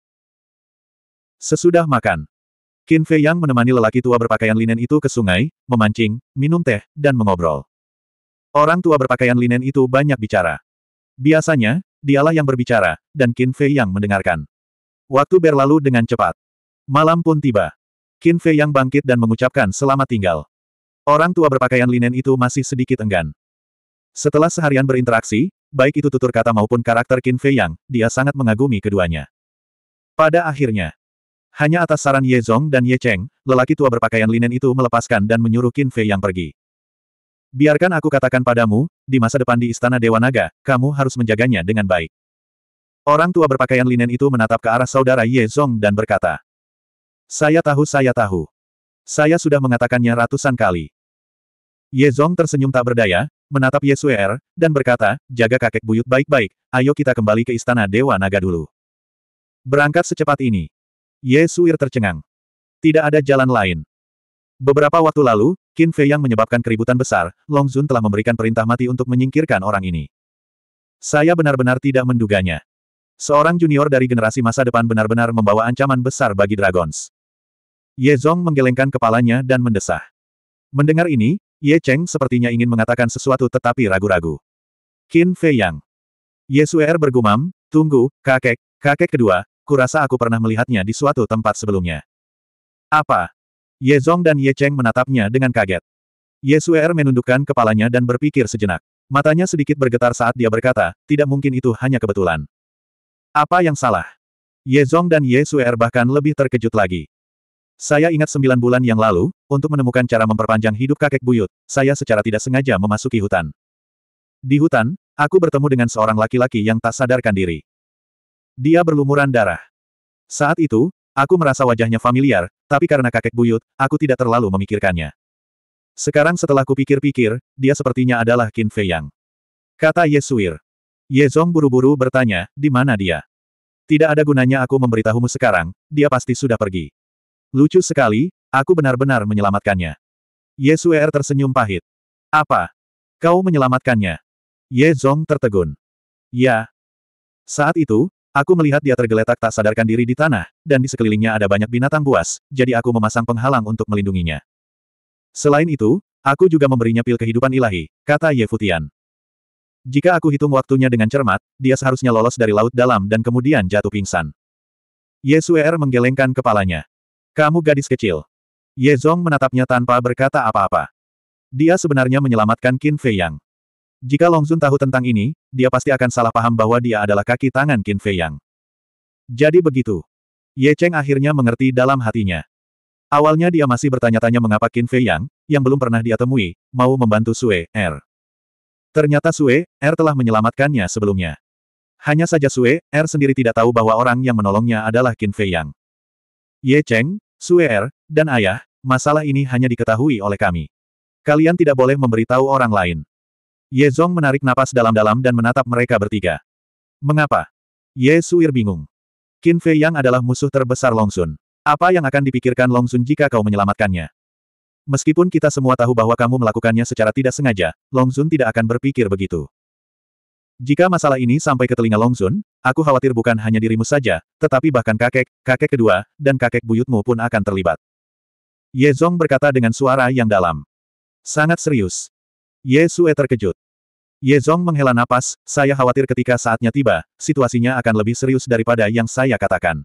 Singkatnya, masalah ini harus dirahasiakan. Ya. Mereka bertiga mengangguk. 2538. Kalau begitu, mari kita kembali dulu. Jika ada sesuatu, jangan lupa untuk segera mengirimi kami pesan. Ye Zong menatap lelaki tua itu dan Ye Suer lalu tersenyum. Oke. Sang kakek dan cucunya mengangguk sebagai jawaban. Ye Zong membuka salah satu altar dan berjalan mendekat. Sue, Er, jaga baik-baik kakek buyutmu. Ye Cheng mengingatkan. Mengerti. Ye Sue terkikik. Ye Cheng mengusap kepala Ye Sue Er dengan penuh kasih sayang dan melompat ke atas altar juga. Tak lama kemudian, mereka berdua menghilang. Kakek buyut, izinkan aku menemanimu sebentar. Ye Sue Er menarik kembali pandangannya dan menatap lelaki tua itu sambil tersenyum. Oke. Kakek buyut juga ingin mengobrol denganmu. Orang tua berpakaian karung itu tersenyum dan menarik Yesue, R menuju sungai. Ngobrol tentang apa? Yesue R curiga. Lelaki tua itu berkata, selama ini, kamu selalu menemani lelaki tua sepertiku. Apakah kamu merasa bosan? Tentu saja tidak. Saya cukup menyukai kehidupan seperti ini. Tidak seperti kakek dan kakek kedua yang selalu bersekongkol satu sama lain di luar. Itu melelahkan. Yesue R menggelengkan kepalanya. Inilah bertahan hidup. Bukankah kakek buyut juga mengalami hal yang sama ketika dia masih muda? Hanya saja bakat kakek buyutku tidak cukup bagus. Aku tidak memiliki prestasi seperti kakekmu dan kakek keduamu. Orang tua itu mendesah. Bagaimana itu bisa terjadi? Jika bakat kakek buyut tidak cukup baik, bagaimana ia bisa memiliki kakek yang berbakat seperti itu? Ye Suir tersenyum. Di keluarga Ye, kakekmu adalah pengecualian. Karena di keluarga Ye kita, belum pernah ada orang yang berbakat seperti dia. Misalnya, bakat kakek kedua Anda jauh lebih rendah dibandingkan bakat kakek Anda. Meskipun kakekmu sekarang bekerja untuk naga, kita tidak bisa punya pikiran lain. Karena tanpa kakekmu, kita tidak akan bisa hidup nyaman seperti ini. Kata orang tua itu. Sue, er tahu. Ye Sue er mengangguk. Tentu saja. Kita tidak bisa membiarkan kakekmu menanggung semuanya. Lagi pula, kakekmu sudah sangat tua. Banyak orang ingin membantu, tetapi mereka tidak bisa. Kau satu-satunya keturunan keluarga Ye kami. Mulai sekarang, keluarga Ye akan bergantung padamu. Kata orang tua itu. Bagaimana itu bisa terjadi? Kakek masih cukup muda. Ye Suir tersenyum. Orang tua itu tersenyum dan berkata, jika kakekmu mendengar ini, dia pasti akan sangat senang. Namun, kamu juga harus mempersiapkan diri untuk hidupmu. Apa yang harus saya persiapkan? Ye Suer ragu. Umur kakek buyut telah diperpanjang hingga seratus ribu tahun. Di masa depan, kamu tidak perlu menemani lelaki tua ini setiap hari. Besok pergilah ke Istana Dewa Naga. Berbudidayalah dengan baik. Jika kau punya kesempatan, akan lebih baik jika kau memasuki Pulau Naga Ilahi. Aku mendengar dari kakekmu bahwa Pulau Naga Ilahi memiliki arai waktu. Kamu akan tumbuh lebih cepat dengan cara ini. Orang tua berpakaian linen itu tersenyum. Yesuer sedikit terkejut. Dia buru-buru bertanya, kakek buyut, apakah kamu mengusirku? Bagaimana mungkin kakek buyut tega mengusirmu? Kakek buyut ingin melepaskan tanganmu dan membiarkanmu keluar dan menjelajah sebanyak yang kamu mau. Kata lelaki tua berpakaian karung itu dengan penuh kasih sayang. Aku tidak pergi. Yesuir menggelengkan kepalanya. Mengapa? Orang tua berpakaian linen itu curiga. Saya ingin menemani kakek buyut. Seratus ribu tahun bukanlah waktu yang lama. Kata Yesuir. Kamu gadis kecil. Lelaki tua berpakaian linen itu menggelengkan kepalanya dan berkata sambil tersenyum, lalu bagaimana dengan ini? Kakek buyut berjanji kepadamu bahwa kamu akan bekerja keras dalam kultivasimu di masa depan. Selama kakek buyut menerobos ke alam abadi setengah langkah, itu pada dasarnya setara dengan memiliki umur yang kekal. Benar-benar. Yesuer menatap lelaki tua berpakaian linen itu dengan heran. Apakah kakek buyut akan berbohong kepadamu? Tetapi itu tergantung pada apakah kakek buyut memiliki kemampuan. Bagaimanapun juga, alam abadi ini adalah rintangan terbesar bagi makhluk hidup di dunia. Kata lelaki tua berpakaian linen itu. Sue, Er percaya kamu pasti bisa melakukannya. Kata Yesuir. Orang tua berpakaian linen itu bertanya, kalau begitu, kau sudah berjanji pada kakek buyut. Beraninya aku tidak mendengarkan perkataan kakek buyut. Setelah beberapa saat, aku akan menemanimu lagi dan melapor ke Istana Dewa Naga. Yesue tersenyum main-main. Oke. Orang tua berpakaian linen itu mengangguk. Istana Dewa Naga. Di tangga batu. Ye Zong tiba-tiba berhenti, menoleh untuk melihat Ye Cheng di belakangnya, dan bertanya dengan bingung, sepertinya kamu ingin mengatakan sesuatu di sepanjang jalan. Apakah kamu ingin mengatakan sesuatu? Ekspresi Ye Cheng menegang, lalu dia berkata sambil tersenyum, kau sudah melihatnya. Kita tumbuh bersama, bagaimana mungkin aku tidak menyadarinya? Ye Zong memutar matanya ke arahnya dan berkata, katakan saja apa yang ingin kau katakan. Ye Cheng merenung dan tidak mengatakan apa-apa. Pada akhirnya, dia menggertakkan giginya dan berkata dengan suara rendah, kakak, pernahkah kamu memikirkan sebuah pertanyaan? Kamu telah bekerja untuk naga selama bertahun-tahun, apakah itu sepadan? Apa katamu? Ye Zong segera berteriak dan buru-buru melihat ke bawah tangga batu. Melihat tidak ada seorang pun, dia menghela napas lega. Ye Cheng menundukkan kepalanya, tidak berani menatap Ye Zong secara langsung. Ye Zong menatap Ye Cheng dan menyampaikan suaranya, mengapa kamu tiba-tiba punya ide seperti itu? Saya pun tidak tahu. Itu hanya dorongan yang tiba-tiba. Saya merasa naga ini tidak sebaik yang kita pikirkan. Ye Cheng menggelengkan kepalanya. Mendengar ini, Ye Zong terdiam beberapa saat, dan berkata dalam hati, kamu tidak boleh memiliki pikiran seperti itu lagi, oke. Itu akan membunuh keluarga kita. Baiklah. Ye Cheng mengangguk. Kembali ke istana Dewa Naga, Ye Zong membuka altar. Setelah melihat Ye Zong pergi, Ye Cheng mendesah dalam hatinya, dan juga membuka altar, turun ke langit di atas lembah. Li Buer. Kata Ye Cheng. Segera. Qin Fei Yang berjalan keluar dari gua dan tersenyum, jadi ini wakil kepala istana, silakan masuk. Ye Cheng berjalan memasuki gua. Qin Fei Yang melirik lembah di luar, dan juga kembali ke gua. Qin Fei Yang menatap Ye Cheng dan tersenyum, karena kalian berdua telah kembali, apakah tetua ke-10 dan wanita berpakaian putih itu telah meninggalkan istana Dewa Naga? Mereka pergi kemarin, kata Li Tianlan. Harus kuakui, kau sungguh hebat, membuat tetua ke-10 begitu menderita di istana Dewa Naga. Ye Cheng menggelengkan kepalanya. Dia memintanya. Jika bukan karena istana Dewa Naga, aku pasti sudah membunuhnya. Qin Fei yang mendengus dingin.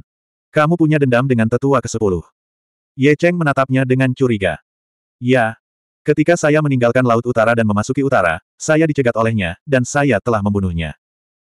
Sayangnya, dia meninggalkan kesadaran ilahinya di Pulau Naga Ilahi, jadi aku tidak benar-benar menyingkirkannya. Qin Fei yang menggelengkan kepalanya dengan menyesal. Jadi begitu. Ye Cheng mengangguk dan tersenyum, terima kasih. Untuk apa kau mengucapkan terima kasih padaku? Qin Fei yang tercengang. Ye Cheng berkata, tentu saja, terima kasih telah menyelamatkan ayahku yang sudah tua. Berbicara tentang hal ini, aku benar-benar harus menyalahkanmu karenanya. Kau tidak begitu percaya padaku. Jika kamu mengatakan yang sebenarnya kepadaku saat kamu meninggalkan istana Dewa Naga, apakah itu akan memakan waktu yang lama? Jika saja aku tidak bertemu Ye Suer, kau pasti akan menyesalinya seumur hidupmu. Qin Fei yang melotot padanya. Ya ya ya. Ini adalah kesalahanku. Ye Cheng tersenyum pahit dan berkata, Sue, Er juga memberitahu kami tentang bagaimana dia menyelamatkanmu. Ini adalah takdir. Qin Fei Yang bertanya, lalu apakah dia tahu bahwa aku adalah Qin Fei Yang? Tidak. Ye Cheng menggelengkan kepalanya. Itu bagus. Qin Fei yang mengangguk. Namun, kamu harus berhati-hati terhadap kakakku. Dia mungkin akan memasang perangkap untuk memancingmu keluar.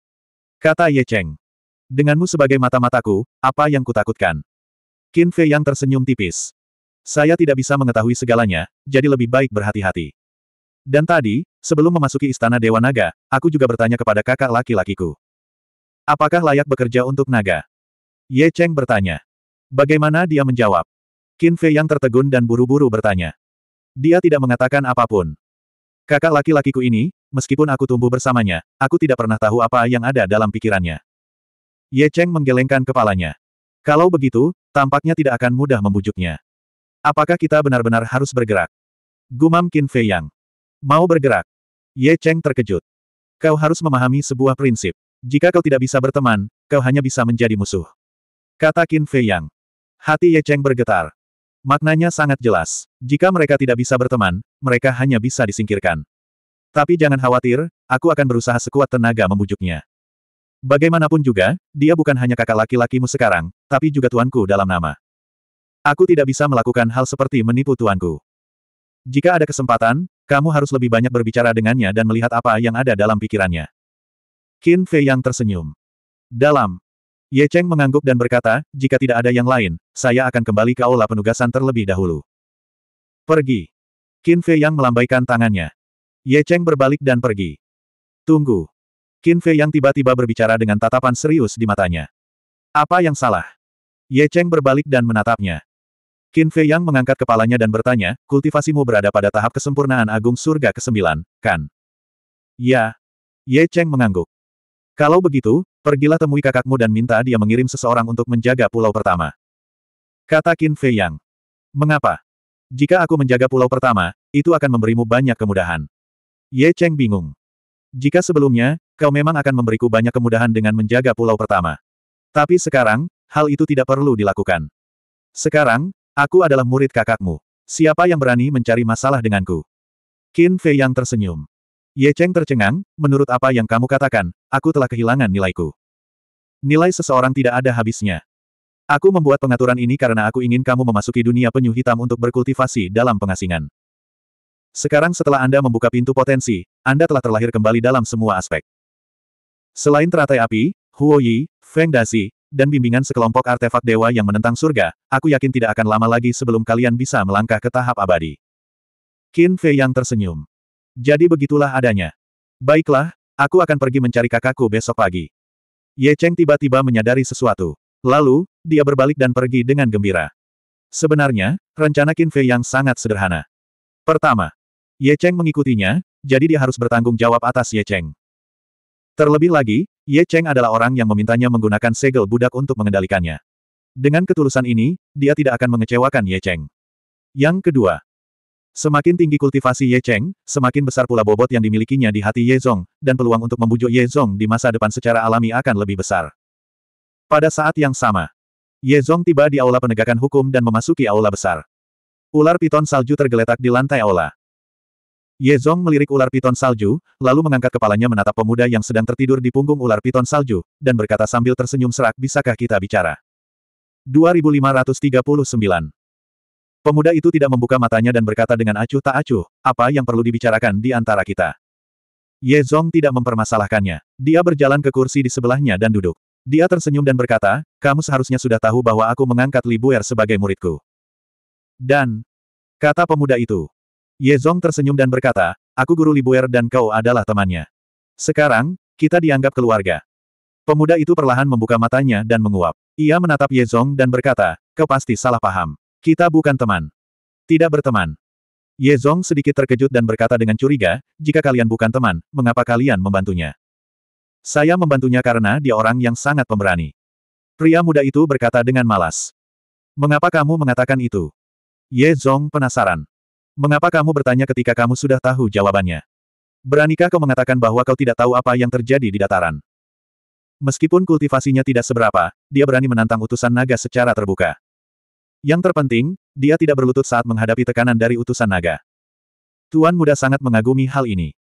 Pria muda itu berkata dengan acuh tak acuh. Ye Zong mengangguk dan berkata sambil tersenyum, sepertinya aku tidak salah. Dia memang berbakat. Saya tidak tahu apakah dia berbakat, tapi dia punya tekad. Setelah mengatakan itu, pemuda itu menutup matanya. Ye Zong menatap pemuda itu dan tidak mengatakan apa pun lagi. Dia berbalik dan pergi. Tujuan kunjungannya adalah untuk mengonfirmasi hubungan antara mereka berdua. Sekarang setelah dia mencapai tujuannya, tentu saja dia tidak perlu lagi tinggal terus. Hari berikutnya, Ye Cheng datang ke Qin Fei Yang dan memasuki kastil kuno untuk berkultivasi. Adapun orang yang menggantikannya untuk menjaga pulau pertama, adalah seorang tetua Dewan Pengadilan. Waktu berlalu dengan cepat. Setengah bulan berlalu. Qin Fei yang telah berkultivasi dalam pengasingan selama setengah bulan. Namun, setengah bulan di luar setara dengan 1500 tahun di kastil kuno dan dunia kura-kura hitam. Dunia kura-kura hitam saat ini ukurannya hampir sama dengan wilayah utara. Tentu saja. Ini tidak termasuk Laut Naga Surgawi. Lagi pula, Laut Naga Surgawi saja beberapa kali lebih besar dari wilayah utara. Jumlah manusia dan binatang buas di dunia kura-kura hitam juga telah berlipat ganda setelah ratusan ribu tahun berkembang. Lebih-lebih lagi, teratai api juga membagi dunia kura-kura hitam menjadi empat wilayah. Mereka adalah domain timur, domain barat, domain utara, dan domain selatan. Empat domain besar berpusat di sekitar tanah iblis. Di mata makhluk hidup di dunia penyu hitam, tanah iblis bukan lagi sekadar wilayah terlarang. Karena sekarang mereka semua tahu bahwa Qin yang tinggal di tanah iblis. Jadi sekarang, dengan perintah Pilupi dan Teta Wang, tidak ada seorang pun yang berani memasuki tanah iblis lagi. Tentu saja. Setelah bertahun-tahun ditemukan, urat roh dan urat kristal dunia kura-kura hitam telah tumbuh ke tingkat yang mengagumkan. Misalnya, negeri iblis telah melahirkan beberapa urat jiwa kelas dewa dan urat kristal tingkat tujuh. Dunia penyu hitam saat ini adalah surga. Pagi itu, seorang wanita berpakaian putih berjalan menaiki tangga batu. Siapa dia? Sangat cantik. Tunggu. Kurasa aku pernah melihatnya sebelumnya. Setengah bulan yang lalu, dia pergi mencari Libuer. Ketika murid-murid yang lewat melihat wanita berpakaian putih itu, mereka tidak dapat mengalihkan pandangan darinya. Libuer ini, keberuntungan macam apa yang dimilikinya. Rasanya seperti semua hal baik telah menimpanya. Banyak orang yang merasa iri dan cemburu. Wanita berpakaian putih itu mengabaikan segalanya dan berjalan menuju pintu masuk istana Dewa Naga. Kakek. Di alun-alun. Ye Zong duduk bersila di tanah. Wanita berpakaian putih itu menatap Ye Zong dan memanggil dengan lembut. Itu benar. Wanita berpakaian putih itu adalah Yesue, R. Apa? Kakek. Bagaimana situasinya? Ketika mereka mendengar bagaimana Yesue R menyapa Ye Zong, beberapa murid terkejut. Ye Zong tertegun sejenak, lalu membuka matanya, menoleh untuk melihat Yesue R yang berdiri di luar pintu, dan bertanya dengan curiga, Sue R, mengapa kamu ada di sini? Kakek buyut memintaku datang ke istana Dewa Naga untuk menjelajah. Yesuer berkata tanpa daya. Mendengar ini, Ye Zong tidak bisa menahan senyum masam, bangkit dan berjalan ke sisi Yesuer, menatap murid-murid yang tercengang, dan mengerutkan kening, apa yang kalian lihat. Wajah mereka berubah, dan mereka segera berbalik dan lari. Ye Zong menarik kembali pandangannya, menundukkan kepalanya untuk melihat Yesuer, dan berkata dengan marah, apakah kamu tidak main-main? Cepatlah kembali. Beranikah aku melanggar perintah kakek buyut? Mengapa kamu tidak pergi dan berbicara dengan kakek buyut? Yesuer berkata dengan sedih. Sebenarnya dia tidak ingin datang ke istana Dewa Naga. Karena dia sangat muak dengan suasana istana Dewa Naga yang penuh tipu daya dan pertikaian demi ketenaran dan kekayaan. Aku. Ye Zong tidak bisa menahan rasa sedihnya. Dia tahu karakter lelaki tua itu lebih baik daripada Ye Suer, asal lelaki tua itu berani mengambil keputusan, sepuluh ekor sapi pun tidak akan mampu menariknya mundur. Xiao, Er, orang tua ini datang untuk mencarimu. Tiba-tiba, sebuah suara tua terdengar di dasar tangga batu. Sang kakek dan cucu tertegun, lalu menunduk dan melihat seorang laki-laki tua berambut merah, berpakaian dekil, rambutnya acak-acakan, seperti ada kandang ayam di atas kepalanya, tengah berlari mendekat. Level abadi awal. Pupil mata Ye Zong mengecil. Apa? Dia seorang immortal level awal. Ye Suer terkejut. Ya. Ye Zong mengangguk. Level abadi awal. Kakek, kultivasimu lebih kuat darinya, jadi tidak perlu terlalu terkejut, kan? Ye Suer berkata melalui telepati. Kultivasi orang tua ini memang lebih kuat darinya, tetapi orang tua ini belum pernah melihatnya sebelumnya. Ye Zong mengerutkan kening. Bahkan kamu belum pernah melihatnya sebelumnya. Ye Suer terkejut. Itulah sebabnya kakek merasa tidak percaya, ternyata ada seseorang yang belum pernah dilihat orang tua ini sebelumnya. Ye Zong berbisik. Xiao, Er, kamu di mana? Pria tua berambut merah itu berteriak sambil bergegas ke puncak tangga batu. Anda. Ye Zong melindungi Ye Sue, Er di belakangnya dan menatap lelaki tua berambut merah itu. Orang tua berambut merah itu tertegun, menatap Ye Zong, menjambak rambutnya yang berantakan, dan berkata, kamu tampaknya. Ye Zong. Kamu kenal orang tua ini. Ye Zong terkejut. Orang tua berambut merah itu mengupil dan berkata asal-asalan, siapa yang tidak kenal dengan Grand Hall Master dari Istana Dewa Naga. Lalu kamu siapa? Ye Zong curiga. Orang tua ini hanyalah seekor burung bangau liar, tidak layak disebut. Namaku Xiao, Er, apakah kamu mengenalnya? Kata lelaki tua berambut merah itu. Burung bangau liar. Ye Zong tertegun dan bertanya dengan curiga, siapa Xiao, Er? Xiao, Er adalah Li Buer. Kudengar dia cukup terkenal di Istana Dewa Naga akhir-akhir ini. Bajingan bau ini cukup menjanjikan. Dia tidak mempermalukan orang tua ini. Pria tua berambut merah itu tersenyum bangga. Li. Ye Zong dan Ye Suer saling berpandangan. Ye Zong menatap lelaki tua berambut merah itu sejenak dan bertanya, kamu tidak mungkin Li Xiao Yao, kan? Bagaimana kamu tahu? Orang tua berambut merah itu tertegun. Benar-benar. Mulut Yezong berkedut dan berkata sambil tersenyum, Li Buer pernah mengatakannya sebelumnya.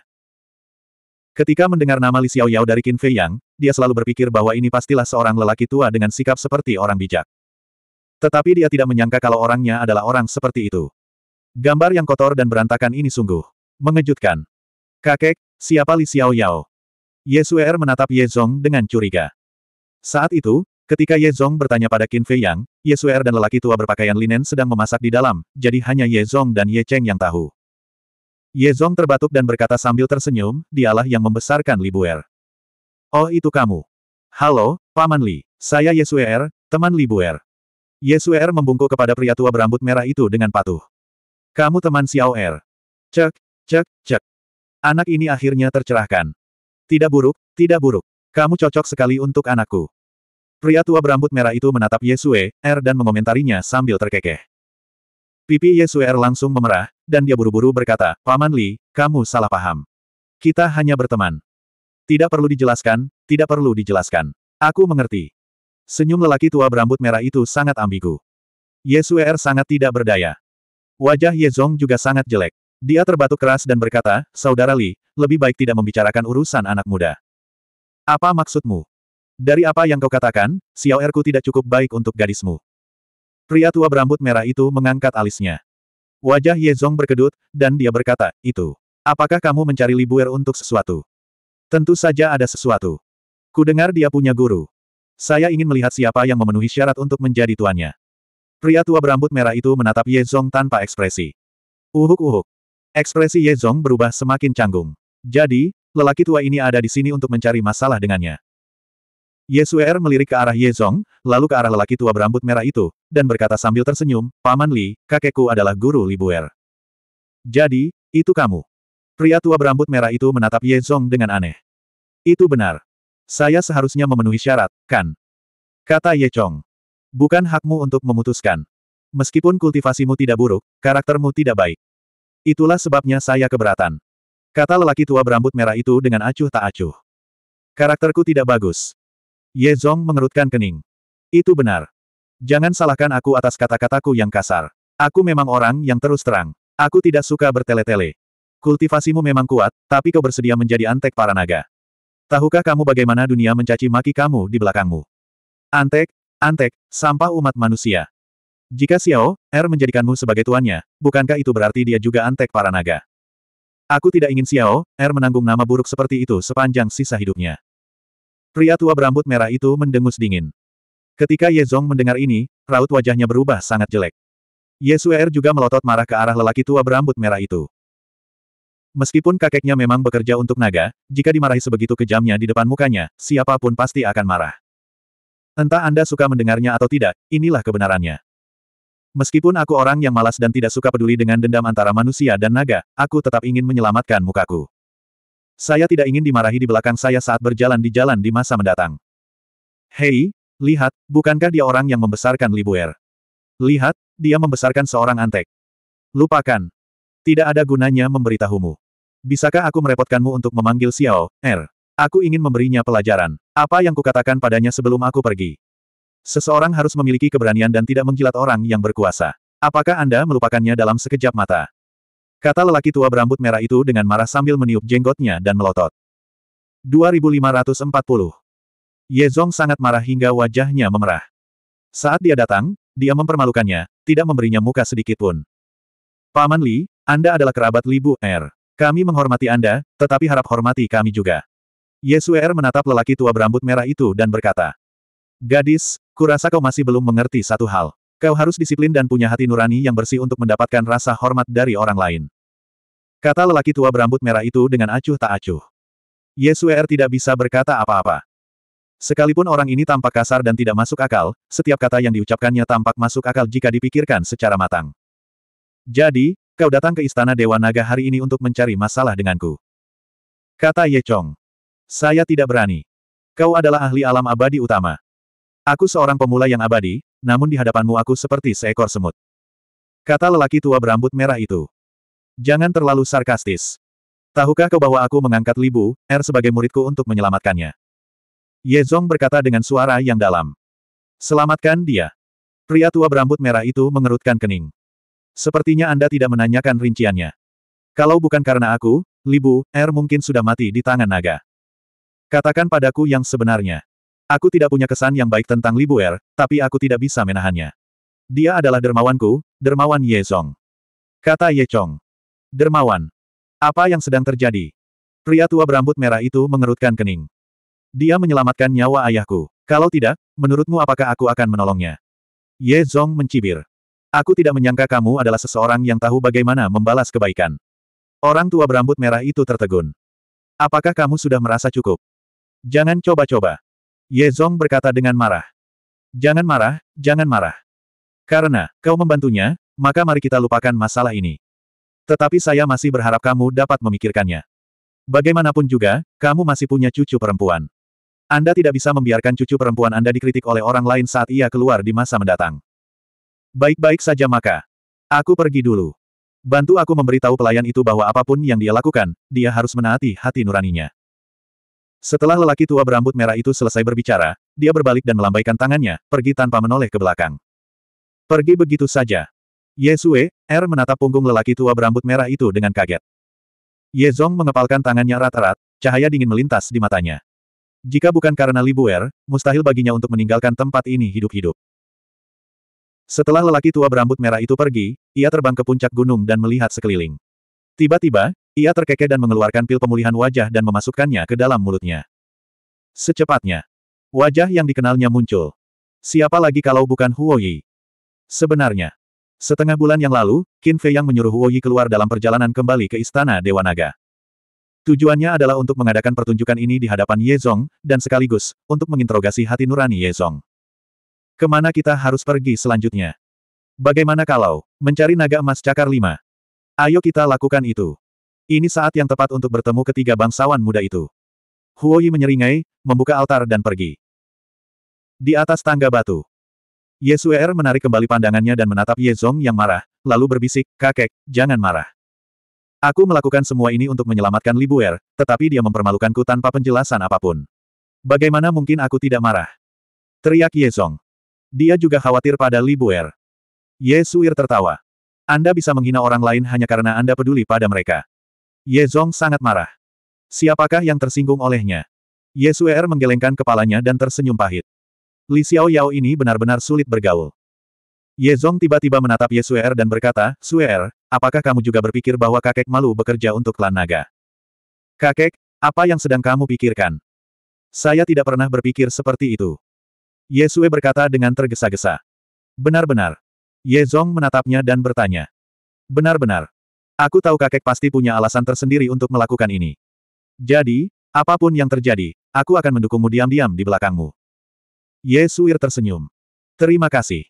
Ye Zong mengusap kepala Ye Suer dan tersenyum gembira. Ye Suer terkekeh dan bertanya, lalu bagaimana kalau aku memasuki istana Dewa Naga? Siapa yang berani menentang keputusan Tuan Tua? Ye Zong menghela nafas tak berdaya, mengeluarkan token putih susu, dan menyerahkannya kepada Ye Suer, kamu tahu betapa pentingnya token ini, jaga baik-baik. Kamu sudah memberiku tokennya, bagaimana denganmu? Ye Suer tertegun dan bertanya. Aku akan meminta satu lagi dari naga terhormat. Kebetulan, aku punya sesuatu untuk dilakukan dan perlu melakukan perjalanan ke Pulau Naga Suci. Kamu masuk duluan. Adapun Li Buer.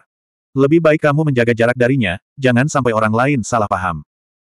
Setelah Ye Zong selesai berbicara, dia bergegas menuruni tangga batu. Salah paham. Ye Suer tertegun dan menggelengkan kepalanya sambil tersenyum pahit. Itu benar. Bukankah dia sudah disalahpahami? Aku tidak menyangka dia adalah cucu dari kepala aula besar. Benar-benar kejutan. Tidak heran dia pergi mencari Libuer. Libuer adalah murid master aula besar, jadi dia dan Libuer bisa dianggap keluarga. Saya masih sedikit iri.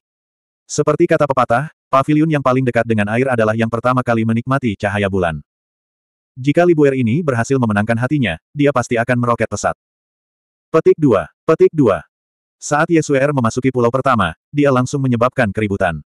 Identitasnya juga telah disebarkan oleh para pengikutnya, dan semua orang mengetahuinya. Di lembah. Di luar gua. Qin Fei Yang menatap Yesuer yang turun dari langit dan berkata, mengapa kamu ada di istana Dewa Naga lagi? Mengapa? Apakah saya tidak diterima? Yesuer tersenyum manis.